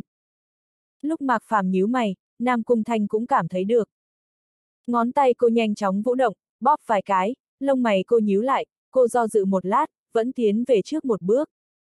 Long Tông Chủ, nếu ta nhớ không nhầm, Mạc Sư Huynh đã nói do huynh ấy phòng ấn Tông Chủ, nếu Tông Chủ không muốn Mạc Sư Huynh ra tay, vậy có thể do Tiểu Thanh làm thay, như vậy mới công bằng. Nếu không cho Long Tại Uyên thêm một tầng gông xiềng, trong chớp mắt khi Long Tại Uyên phá phòng ấn, đủ đánh chết Mạc Phàm và vọng cơ. Nam Cung gia cô tinh thông thiên mệnh huyền thuật, đồng thời tinh thông thiên mệnh phong ấn chi thuật. Đây là một loại thuật pháp tương tự lời thề, một khi vi phạm, sẽ bị thiên mệnh trừng phạt. Với tu vi của cô thi triển ra hơi miễn cưỡng, nhưng vẫn có thể sản sinh ra hiệu quả. Long Tại Uyên nhíu mày, lạnh lùng liếc Nam Cung Thanh một cái. Nam Cung cô nương, hình như vấn đề trên người ngươi đã được giải quyết, ngươi sẽ sử dụng phong ấn với bản tông chủ sao? Không sai. Nam Cung Thanh nghiến răng nói. Như vậy chắc chắn sẽ đắc tội ngạo Nhật Sơn Tông, nhưng chỉ làm vậy mới khiến Mạc Phàm và vọng cơ đạt được sinh cơ. Vừa rồi cô đã tính cho vọng cơ, đại hung khả tử. Có thể, nhưng bản tông chủ tuổi tác lớn rồi, không thích đi lại, muốn Nam Cung cô nương tự mình tới. Long Tại Uyên thản nhiên nói. Chuyện này, sắc mặt Nam Cung Thanh khó coi, trong mắt lộ ra vài phần do dự. Sao tuổi tác của Long Tại Uyên có thể lớn được, trong cao thủ đại thừa trên vạn tuổi thì không nói, Long Tại Uyên mới 5.000 tuổi mà thôi, tuyệt đối được coi là người trẻ tuổi trong đám cao thủ đại thừa. Những lời này là nói cho Nam Cung Thanh nghe, thực ra nói với Nam Cung Thanh, tiến vào quấy rối có khả năng sẽ chết. Được rồi, Long Tông chủ không thích đi lại, vậy Tiểu Thanh qua đó. Nam Cung Thanh chỉ do dự một lát, muốn tiến vào khu vực của bốn người. Nam Cung sư muội, muội ở đó nhìn là được rồi, phòng ấn thì không cần. Mạc Phàm thản nhiên nói. Vọng cơ sư huynh xuất hiện biến cố, đã rất phiền phức. Nam Cung Thanh cũng được hắn thay đổi số mệnh mới đi tới bây giờ, nếu cô xen vào, rất có khả năng sẽ chết ở đây. Vọng cơ sư huynh thì hắn sẽ nghĩ biện pháp, Nam Cung Thanh không tiến vào, hẳn là không xảy ra vấn đề gì. Nhưng mà, Nam Cung Thanh nhíu mày, vẻ mặt do dự. Như vậy vọng cơ sẽ chết, cô không thể tính được Mạc Phàm, nếu chỉ còn lại Mạc Phàm, e rằng cũng không có kết cục tốt, không chết cũng phế. Long Tại Uyên hơi nhếch miệng, mỉm cười. Nam Cung cô nương, còn cả tiểu tử đạo môn kia, các người muốn hạ phòng ấn với ta không, nếu không hạ phòng ấn, thì chúng ta bắt đầu đây. Nam Cung Thanh nghiến chặt răng, trên nắm tay lóe lên điện quang màu xanh, nhưng không nói gì thêm. Trương Thiên Bảo cũng như bị khơi dậy lửa giận, vẻ mặt hiếm khi nghiêm túc như bây giờ. Long Tông Chủ, nếu ta có bảo bối phong ấn được ngươi, ta nhất định sẽ đi vào, hay là ngươi mở phong ấn bên này ra, để ta tìm sư tổ ta mượn một cái, đợi ta quay trở lại, mọi người ra tay lần nữa.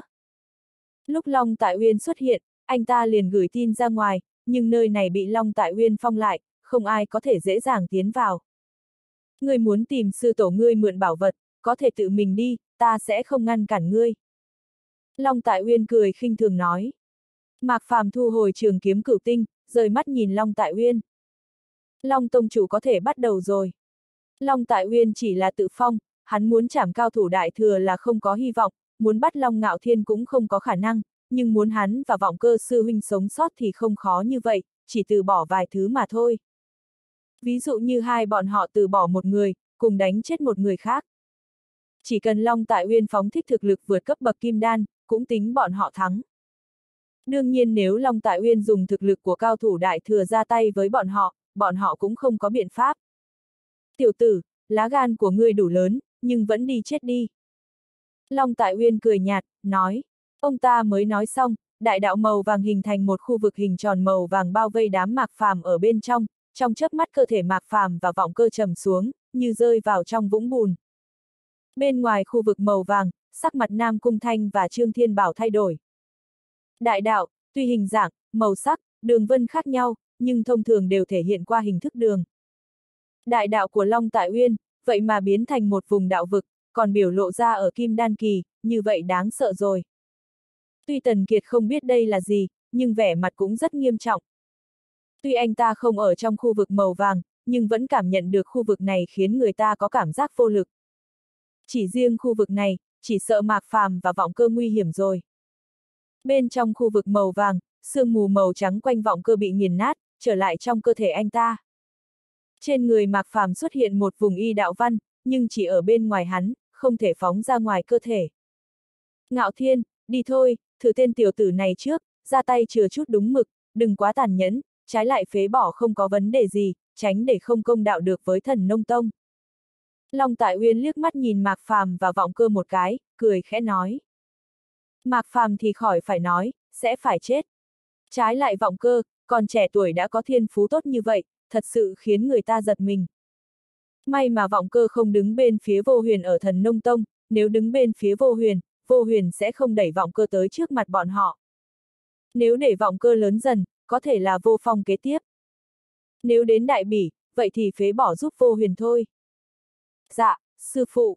Long ngạo thiên cười khẽ, nhìn thoáng qua vọng cơ ở bên cạnh, trong lòng bàn tay có ấn ký thái dương chi môn lóe lên, không lưu tình đánh về phía đỉnh đầu vọng cơ. Tiểu tử này, ta tới. Long Tại Uyên hơi nhếch miệng cười mỉa, bước chậm về phía Mạc Phàm. Rõ ràng chỉ là một bước, nhưng trực tiếp vượt qua hơn 10 mét, đến bên cạnh Mạc Phàm.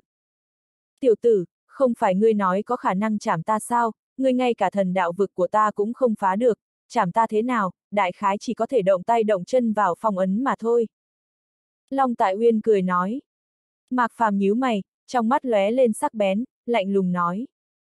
Giết ngươi, còn chưa cần phải động tay động chân vào phong ấn, chỉ là một cao thủ đại thừa, còn e ngại một cao thủ nguyên anh như ta động tay động chân vào phong ấn, cảnh giới đại thừa của ngươi cũng không cao tới mấy. Vậy sao, vậy ta muốn nhìn xem, ngươi còn có thể mạnh miệng tới khi nào? Long Tại Uyên cười khinh thường nói. Ông ta vươn một tay ra, một ấn ký thái dương chi môn giống hệt trong lòng bàn tay Long Ngạo Thiên xuất hiện, cùng đánh về phía đỉnh đầu Mạc Phàm. Thần Dương Diệt Thiên, thần Dương Diệt Thiên của ngươi, kém đầu đệ của ngươi nhiều lắm. Mạc Phàm hơi nheo mắt, ba ấn ký tạo thành một hình tam giác xuất hiện ở chỗ mi tâm của hắn. Trong đạo vực, thực lực của hắn và vọng cơ sư huynh đều bị áp chế rất nhiều. Long Ngạo Thiên ở bên trong đạo vực, thực lực có thể tăng mạnh. Nhưng Long Tại Uyên chỉ có tu vi kim đan, tuy có thể sử dụng đạo vực, nhưng thực lực có hạn.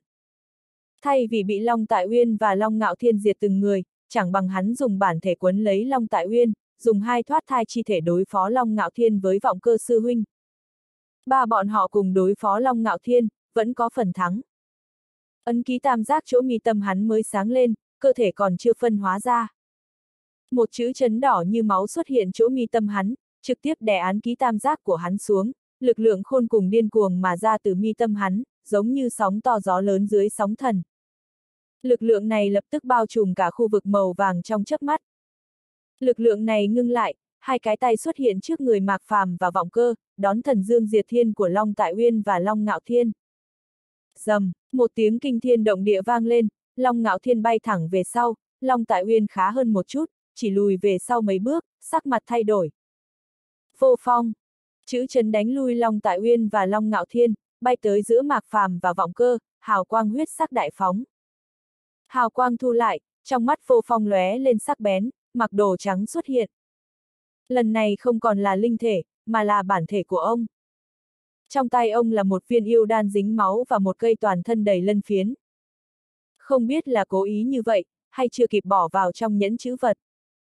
Yêu đan cho con, giúp ta xem một phen, thứ này có thể dùng được không, không dùng được, lát nữa ta lại đi tìm. Vô phong ném yêu đan và cây kia cho Mạc Phàm nói. Ông cảm nhận được Mạc Phàm gặp phải nguy hiểm, sau khi đánh chết yêu thú kia, liền nắm lấy một gốc thiên tâm thứ di chuyển tới đây. Dựa theo phương pháp của Mạc Phàm, thiên tâm thứ vạn năm là tốt nhất, cây này còn chưa tới vạn năm. Mạc Phàm không khách sáo cất viên yêu đan kia đi, cầm thiên tâm thứ đánh giá một lát. Thiếu một chút nữa, nhưng không có vấn đề gì lớn, để ở chỗ của con trước, con hơi thúc giục hóa một phen, sẽ đủ vạn năm, thời gian cũng vừa đủ. Mạc Phàm nói, thiên tâm thứ này chưa tới vạn năm, cũng không kém bao nhiêu, hơn nữa thiên tâm thứ là sử dụng cuối.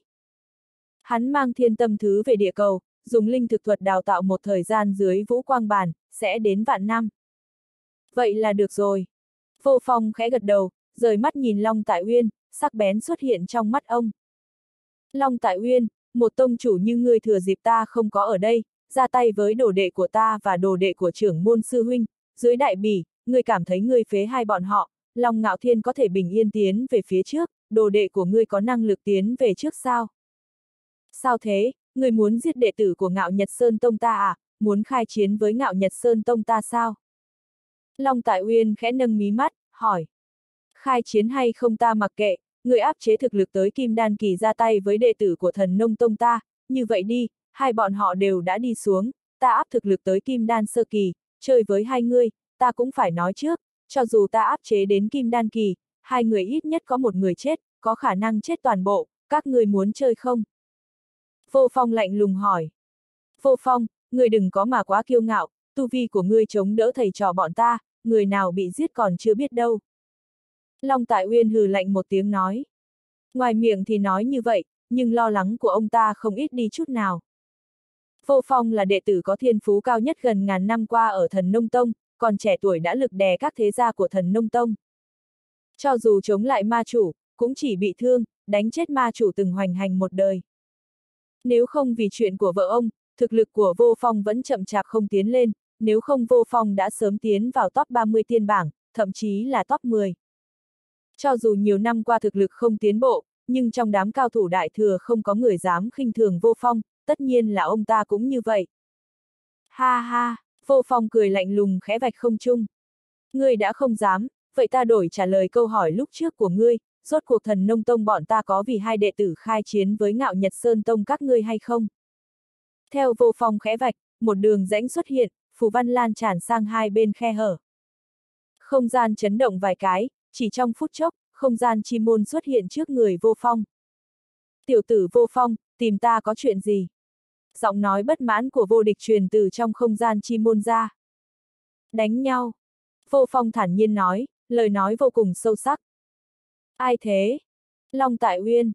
Chữ Uyên vừa ra, không gian chi môn run lên, giống như có thứ gì khổng lồ chui từ trong ra. Ngay sau đó, trong mắt vô địch lóe lên tinh quang đi từ trong ra. Muốn đánh nhau đúng không, ai cũng đừng nhúng tay, để ta tới cho. Vô địch vô cùng hưng phấn nói. Ba đại cao thủ của thần nông tông, trưởng môn sư huynh không biết đi đâu, vô phong quanh năm ra vào bí cảnh, chỉ có mình ông một người hiếu chiến trong cửa thần nông tông, không thể đi đâu, ông đã sớm không chịu nổi rồi. Có người đánh nhau, ông cầu còn không được. Nhất là ngạo Nhật Sơn Tông, tự cho mình là môn phái thu thần, ít để môn phái khác vào mắt, phàm là gặp phải chuyện gì, ra tay vô cùng hung tàn, rất ít khi để người ta sống sót, ông đã sớm nhìn ngạo Nhật Sơn Tông không vừa mắt. Cho dù vô phong có lý do gì ra tay, ông đều không sao cả, dù sao xảy ra chuyện có vô phong gánh. Vô địch, vô phong còn có thể khiến ta e rè, ngươi thiếu một chút, cho nên ngươi nên câm miệng thì hơn. Long Tại Uyên nhíu mày, lạnh lùng nói. Ông ta thật sự không ngờ, ông ta chỉ nói một câu, vô phong lập tức gọi vô địch tới. Không phải đối thủ của ngươi, ta không có hứng thú ngược đồ ăn, không giống lão già ngươi, ngay cả hai đệ tử Nguyên Anh cũng không buông tha, sao thế, nhìn thấy thiên tài của thần nông tông bọn ta, sợ sao? Vô địch cười khinh thường, giống như từ trước tới nay đều là ông dùng gậy ra tay với đối phương. Sợ cao thủ của thần nông tông các ngươi sao, nếu thần nông tông các ngươi muốn khai chiến, ngạo nhật sơn tông bọn ta sẽ phụng bồi tới cùng. Sắc mặt Long Tại Uyên khó coi, nói. Ngại quá, thần nông tông bọn ta có cao thủ, hơn nữa thần nông tông cách đạo môn gần hơn không ít, bọn ta hoàn toàn có thể giết các ngươi, rồi giết người chạy tới, cuối cùng giết tiến vào thần nông tông. Vô địch cười nói. Long Tại Uyên nhíu chặt mày, trên mặt tràn đầy giận dữ. Vậy các ngươi thử xem, ta muốn xem hai người có thể đại diện cho thần nông tông hay không.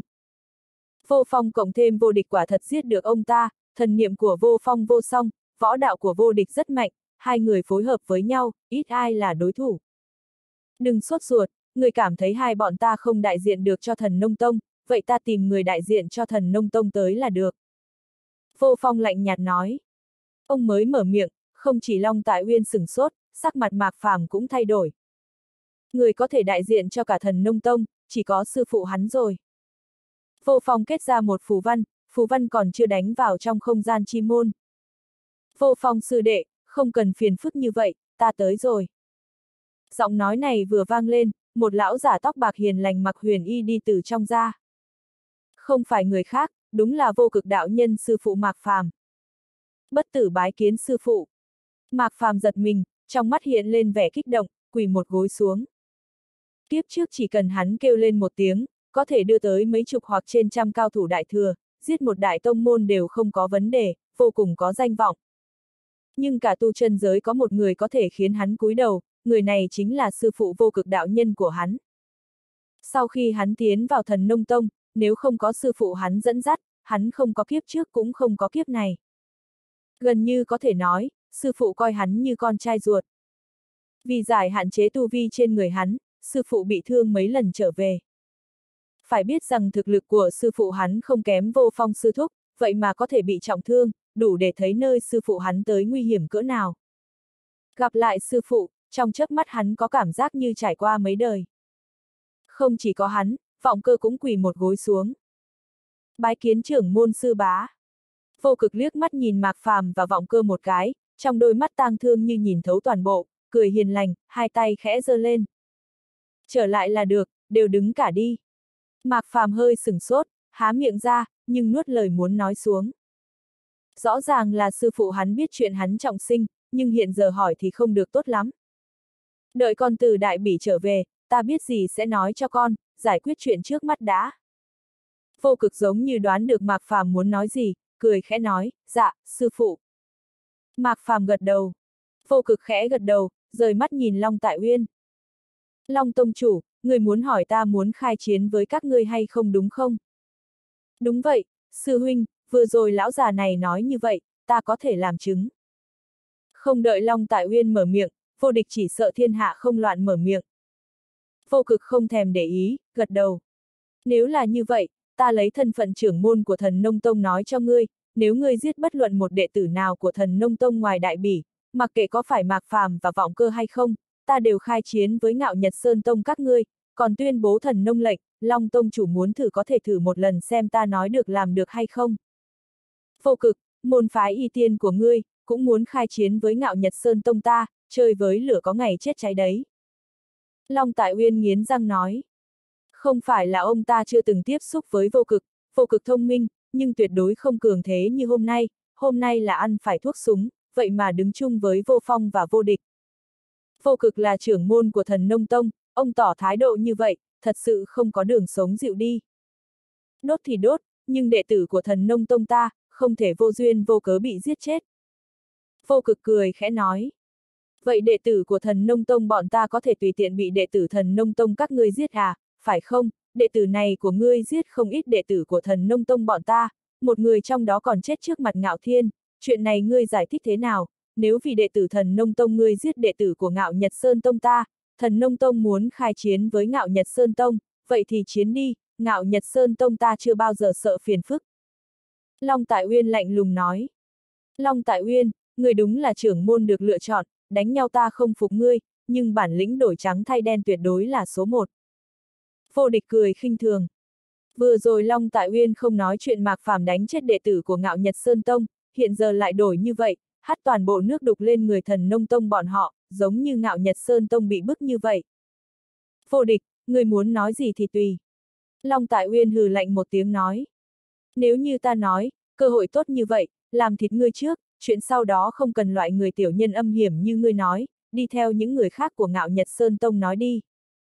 Vô địch cười ha ha, đi về một phía của Long Tại Uyên. Sắc mặt Long Tại Uyên khó coi, trong mắt lóe lên lửa giận ước gì có thể đốt chết vô địch. Nếu muốn ra tay, vậy thì đến đi, hôm nay Long Tại Uyên ta muốn thử xem ba đại cao thủ của thần nông tông mạnh tới cỡ nào. Long Tại Uyên nhìn về phía vô cực, nói. Vô cực không phải bản thể, đến đây không có gì phải sợ. Chỉ có vô phong và vô địch, chưa chắc có thể đánh chết ông ta trong thời gian ngắn. Chỉ cần ông ta chống đỡ được tới khi người của đạo môn, hoặc cao thủ tông môn có giao hảo tốt với ngạo Nhật Sơn Tông, ông ta có thể bình yên vô sự. Trái lại thần nông tông, chỉ có ba người dám ra tay trước, chuyện này phải để thần nông tông chịu trách nhiệm. Đại bị tồn tại vì tránh tranh chấp, thần nông tông khai chiến lúc này, đạo môn sẽ là môn phái đầu tiên không để yên. Đương nhiên ông ta không tin vô cực dám ra tay. Thần nông tông là môn phái y tiên, gặp loại chuyện này đều dĩ hỏa vi quý. Vô cực cười nhạt, nhìn thoáng qua vô phong. Vô phong gật đầu, bóng dáng nhoáng lên một cái, đến phía sau Long Tại Uyên, ba người đứng ở ba góc vây quanh Long Tại Uyên. Đồng thời, đường vân như nước gợn lấy vô phong làm trung tâm, lan tràn ra xung quanh. Rất nhanh, trong hơn 10 dặm xung quanh, đều được gợn sóng này bao trùm. Tiểu phàm, cơ thể của con cho ta mượn dùng một lát. Vô cực nói với Mạc Phàm. Dạ, sư phụ, nhưng mà... Mạc Phàm nhíu mày, có chút lo lắng hỏi. Sư phụ hắn là một đạo thần niệm tới, phát huy không được bao nhiêu thực lực, nhưng dùng cơ thể hắn thì khác rồi. Nhưng hắn không muốn mọi chuyện ẩm ý quá lớn, lớn đến mức khai chiến với ngạo Nhật Sơn Tông. Kiếp trước trên dưới thần nông tông là một khối thiết bản, hắn lại càng lo lắng đám cao thủ đại thừa, cuối cùng không khai chiến với ngạo Nhật Sơn Tông. Tuy lần này khác, chỉ có mình Long Tại Uyên ở đây. Nhưng thần nông tông mới có chút khởi sắc, tùy tiện khai chiến sẽ bất lợi với sư phụ hắn. Nhất là đám vô huyền sư bá có khả năng cấu kết với ngạo Nhật Sơn Tông, nhớ đâu đám vô huyền sư bá muốn nội chiến, đám sư phụ hắn sẽ bị hủy hoại trong chốc lát. Ta biết con muốn nói gì, nhưng lo lắng của con là dư thừa. Vô cực cười, thân thể hóa thành một đạo quang, biến mất trong cơ thể mạc phàm. Ta vẫn nói câu đó, quyết đấu ngoài đại bỉ như vậy, giết đệ tử thần nông tông ta, thần nông tông ta nhất định sẽ truy cứu tới cùng, mặc kệ đối phương là ai, còn chuyện tiểu phàm giết đệ tử ngạo Nhật Sơn Tông ngươi, ngươi cũng có thể truy cứu, nhưng phải tìm đệ tử cung cấp truy cứu, một cao thủ đại thừa như ngươi tới bắt nạt một đệ tử Nguyên Anh, ba sư huynh đệ bọn ta muốn thử xem rốt cuộc Long Tông chủ có bản lĩnh cỡ nào. Giọng nói kiên quyết của vô cực truyền từ người mạc phàm ra. Vô cực nói xong, không nói nhiều lời vô nghĩa với Long Tại Uyên nữa. Hai ngón tay ông dựng thẳng trước người, dẫm chân xuống, trong chớp mắt y đạo trận vô cùng phức tạp bao trùm xung quanh.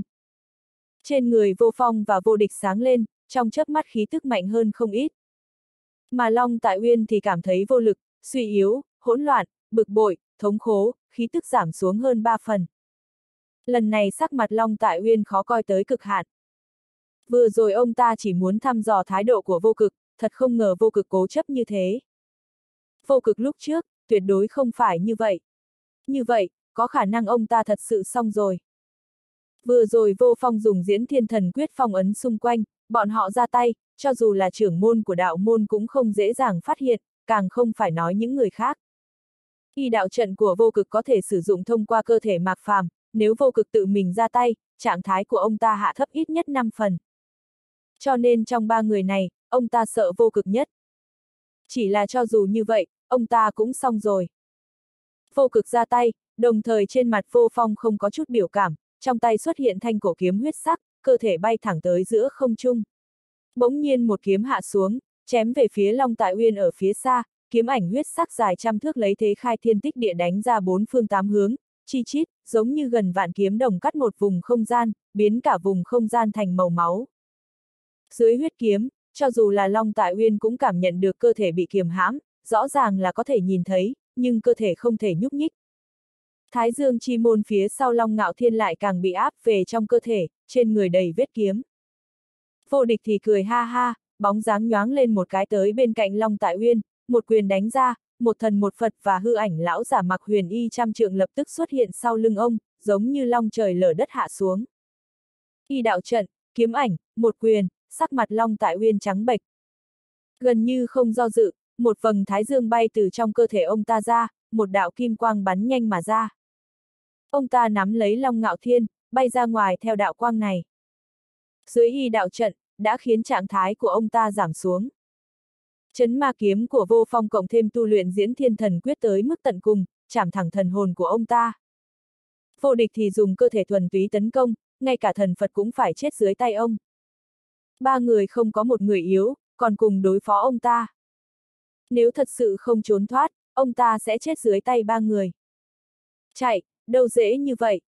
Vô phong hừ lạnh một tiếng, trường kiếm huyết sắc trong tay nhoáng lên một cái, kiếm ảnh huyết sắc răng khắp nơi trong không trung, hình thành tấm lưới huyết sắc to, giữa phóng kiếm, một chữ chấn chói mắt đại phóng hào quang.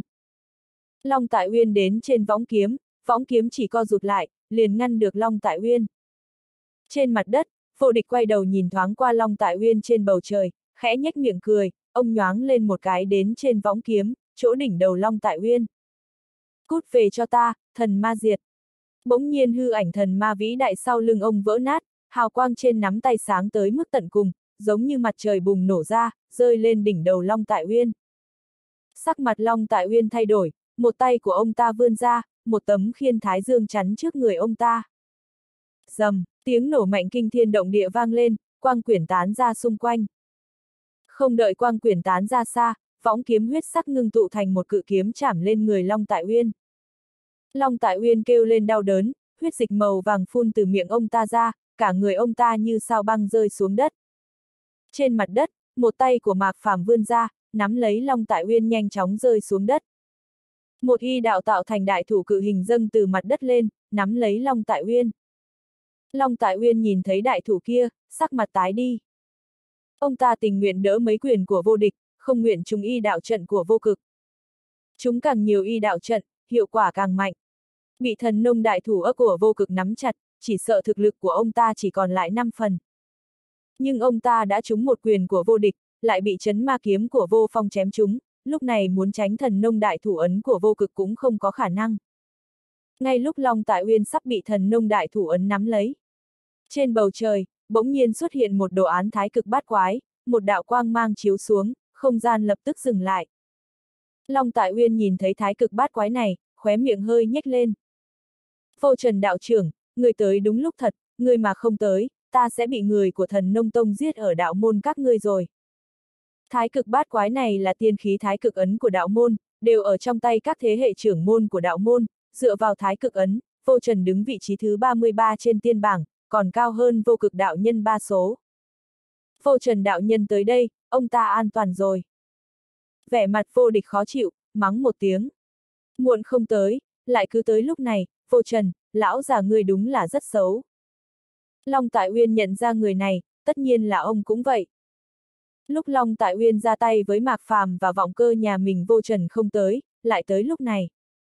Thêm chút thời gian nữa, cho dù không giết chết Long Tại Uyên cũng không khác mấy. Vô địch, không phải ba người muốn giết ta sao, tới đây, tiếp tục ra tay đi, ba cao thủ của thần nông tông đều không giết được ta, môn phái y tiên chỉ là môn phái y tiên mà thôi, khà khà. Long Tại Uyên cười vang nói.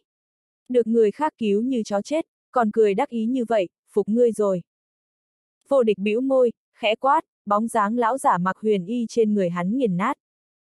Thân thể ông xuất hiện trước người Long Tại Uyên, dẫm mạnh lên người Long Tại Uyên. Một cước này đạp qua, quang mang chiếu lên người Long Tại Uyên vỡ nát, sau đó rơi vào người Long Tại Uyên. Mắt Long Tại Uyên mở to, cơ thể lập tức xuất hiện vết dạn, rơi vào thần nông đại thủ ấn như đạn bay ra khỏi nòng súng, thần nông đại thủ ấn nắm lấy. Nhưng mà, dầm, một tiếng thật lớn, từng vòng gợn sóng dập dờn từ đại thủ ấn mà ra, đến chỗ nào, tất cả mọi thứ bị chôn vùi. Cũng đúng lúc này, một giọng nói vang lên. Vô phong sư đệ, các ngươi chút giận xong rồi, thì mở phong ấn của ngươi ra đi, giết Long sư huynh không phải chuyện tốt đối với chúng ta, chuyện này ta sẽ cho các ngươi câu trả lời hài lòng. Trên bầu trời, vô phong nhíu mày, liếc mắt nhìn Mạc Phàm một cái. Mạc Phàm thu hồi cái tay kia, thần nông đại thủ ấn lập tức mở ra. Bên trong đại thủ ấn, quần áo trên người Long Tại Uyên vỡ nát, chiến giáp bên trong cũng đầy vết dạn, nhất là chỗ ngực, lõm xuống một mảng lớn, máu tươi màu vàng không ngừng chảy từ miệng ông ta ra. Ông ta chậm rãi đứng dậy trên đại thủ ấn, trong mắt lóe lên hung quang như mãnh thú bị chọc giận. Vô cực, các ngươi. Trên người mạc phàm chớp lóe hào quang, vô cực nhoáng lên một cái ra ngoài. Long Tông Chủ, người còn gì muốn nói à? Vô cực liếc mắt nhìn Long Tại Uyên một cái, hỏi. Hừ, Long Tại Uyên hừ lạnh một tiếng không nói gì. Vô Trần Đạo Nhân đã tới, nhưng không phá được phong ấn của vô phong cũng vô dụng. Ông ta nói nữa, chỉ biết giống như vừa rồi, bị vô địch đánh. Vô phong sư đệ, mở kết giới đi. Vô cực thấy Long Tại Uyên không nói lời nào, thì nói với vô phong. Ý niệm của vô phong vừa động, gợn sóng trong không gian như nước biển rút đi, mặt trời trên bầu trời cao, xung quanh khôi phục như thường. Bên ngoài kết giới, một lão giả tóc bạc mặt hồng hào, mặc đạo bào màu đen như thần tiên lâm không mà đứng, một thái cực ấn trôi nổi xung quanh ông ta. Phía sau ông ta, là mấy đệ tử của đạo môn. Ngoại trừ đạo môn ra, một số người của Bạch Gia, Thánh Môn, Nam Cung Gia, chân Võ Tiên Cung, Vạn Pháp Môn cũng có mặt. Vô Trần Đạo trưởng, người của thần nông tông muốn giết ta, ngươi cho ta một công đạo đi, nếu không cho được thì khai chiến đi. Long Tại Uyên thấy nhiều người như vậy, lại liếc mắt nhìn đám vô cực một cái, nói. Long Sư Huynh yên tâm đừng sốt ruột, chuyện này đợi ta tra xong lại nói cũng không muộn, còn chuyện khai chiến, Long Sư Huynh thân là tông chủ của ngạo Nhật Sơn Tông, đừng dễ dàng mở miệng thì hơn. Vẻ mặt vô trần lạnh nhạt, nói. Được, vậy ta đợi ngươi cho ta công đạo, nhưng mà trước đó. Long Tại Uyên hừ lạnh một tiếng, nói một nửa liền lấy một cái gương ra, ném lên không trung. Chiếc gương này vừa tới không trung, liền nhanh chóng biến to, hóa thành một cánh cửa. Tam thúc, lão thất, mời đến đạo môn một chuyến. Giọng nói này vang lên, cửa mở ra, một lão giả và một thanh niên đi từ trong ra. Hai người có vài phần tương tự Long Tại Uyên, khí tức trên người không kém Long Tại Uyên chút nào. Đạo môn cách thần nông tông không xa, quan hệ giữa hai phái luôn không tệ, còn thường xuyên có đám hỏi. Dựa vào chuyện này, cho dù có tông chủ khác ở đây, đạo môn chắc chắn sẽ thiên về thần nông tông. Vừa rồi vô phong phong tỏa vùng không gian này trước, không gian pháp bảo của ông ta vô dụng, hiện giờ có thể dùng, nên tìm hai cao thủ tới thì hơn. Hai người vừa xuất hiện, liền đứng ở phía sau Long Tại Uyên, như hổ rình mồi nhìn người thần nông tông. Vô cực sư huynh, xảy ra chuyện gì vậy, vậy mà còn khiến huynh phải tới đây, làm phiền vô cực sư huynh giải thích giúp ta. Long Tông chủ ra tay với đệ tử của ta, còn tuyên bố khai chiến với thần nông tông, vô phong sư đệ không có biện pháp, ta và vô địch sư đệ tới đây một chuyến, còn chuyện tấn công Long Tông chủ, nếu các vị thấy đệ tử của mình bị trưởng bối ra tay giết chết ở ngoài đại bỉ, cho dù là hạ thấp tu vi, cũng sẽ không chịu để yên không ra tay đúng không? Còn chuyện giết sao, nếu ba sư huynh đệ bọn ta muốn giết Long Tông chủ, Long Tông chủ đã không còn sống đến tận bây giờ. Vô cực cười nhạt nói. Vô cực, ngay cả thần nông đại thủ ấn ngươi đã dùng rồi, còn dám nói không muốn giết ta. Sắc mặt Long Tại Uyên khó coi, lạnh lùng nói. Vô cực không trả lời, chỉ cười nhạt. Trái lại vô trần đạo nhân nhíu mày, trong mắt lóe lên ánh sáng lạnh, nhìn về phía Long Tại Uyên. Tạm dừng không nói chuyện vô cực sư huynh muốn giết Long sư huynh, xem ra Long sư huynh thừa nhận ra tay với đệ tử thần nông tông tham dự đại bỉ. Sắc mặt Long Tại Uyên khó coi, đôi mắt đảo liên tục. Không sai, hai đệ tử thần nông tông này giết chết đệ tử của ngạo Nhật Sơn Tông bọn ta, hai người còn cùng ra tay với ngạo thiên, ta chỉ ra tay giáo huấn bọn họ mà thôi. Vậy vì sao đệ tử thần nông tông lại ra tay với đệ tử của ngạo Nhật Sơn Tông, Long Sư Huynh biết không? Vô Trần lại hỏi tiếp. Chuyện này sao? Long Tại Uyên nhíu mày, không nói. Ông ta chỉ thấy Mạc Phàm và Vọng Cơ ra tay với Long Ngạo Thiên, chuyện lúc trước ông ta không biết. Trương Thiên Bảo ở một bên chớp mắt, giơ tay lên. Sư tổ, là như vậy, lúc trước có hai đệ tử của Ngạo Nhật Sơn Tông bắt nạt một vị cô nương ở chợ, bị con giáo huấn, mấy người này tìm Long Ngạo Thiên trói con lên trên cây, còn dùng nghiệp hỏa định đốt chết con, con được Mạc Sư Thúc và Vọng Cơ Sư Thúc cứu, bọn con định rời đi, nhưng Long Ngạo Thiên không chịu, Mạc Sư Thúc bàn bạc với Long Ngạo Thiên là quyết đấu trên đại bỉ nhưng không được Long Ngạo Thiên đồng ý, lúc này mới ra tay, còn chưa bắt đầu, Long Tông Chủ đã tới, vừa ra tay đã muốn giết Mạc Sư Thúc và Vọng Cơ Sư Thúc. Trương Thiên Bảo mới mở miệng, sắc mặt đám Long Tại Uyên và Long Ngạo Thiên lập tức khó coi. Audio điện tử võ tấn bền. Hết tập 80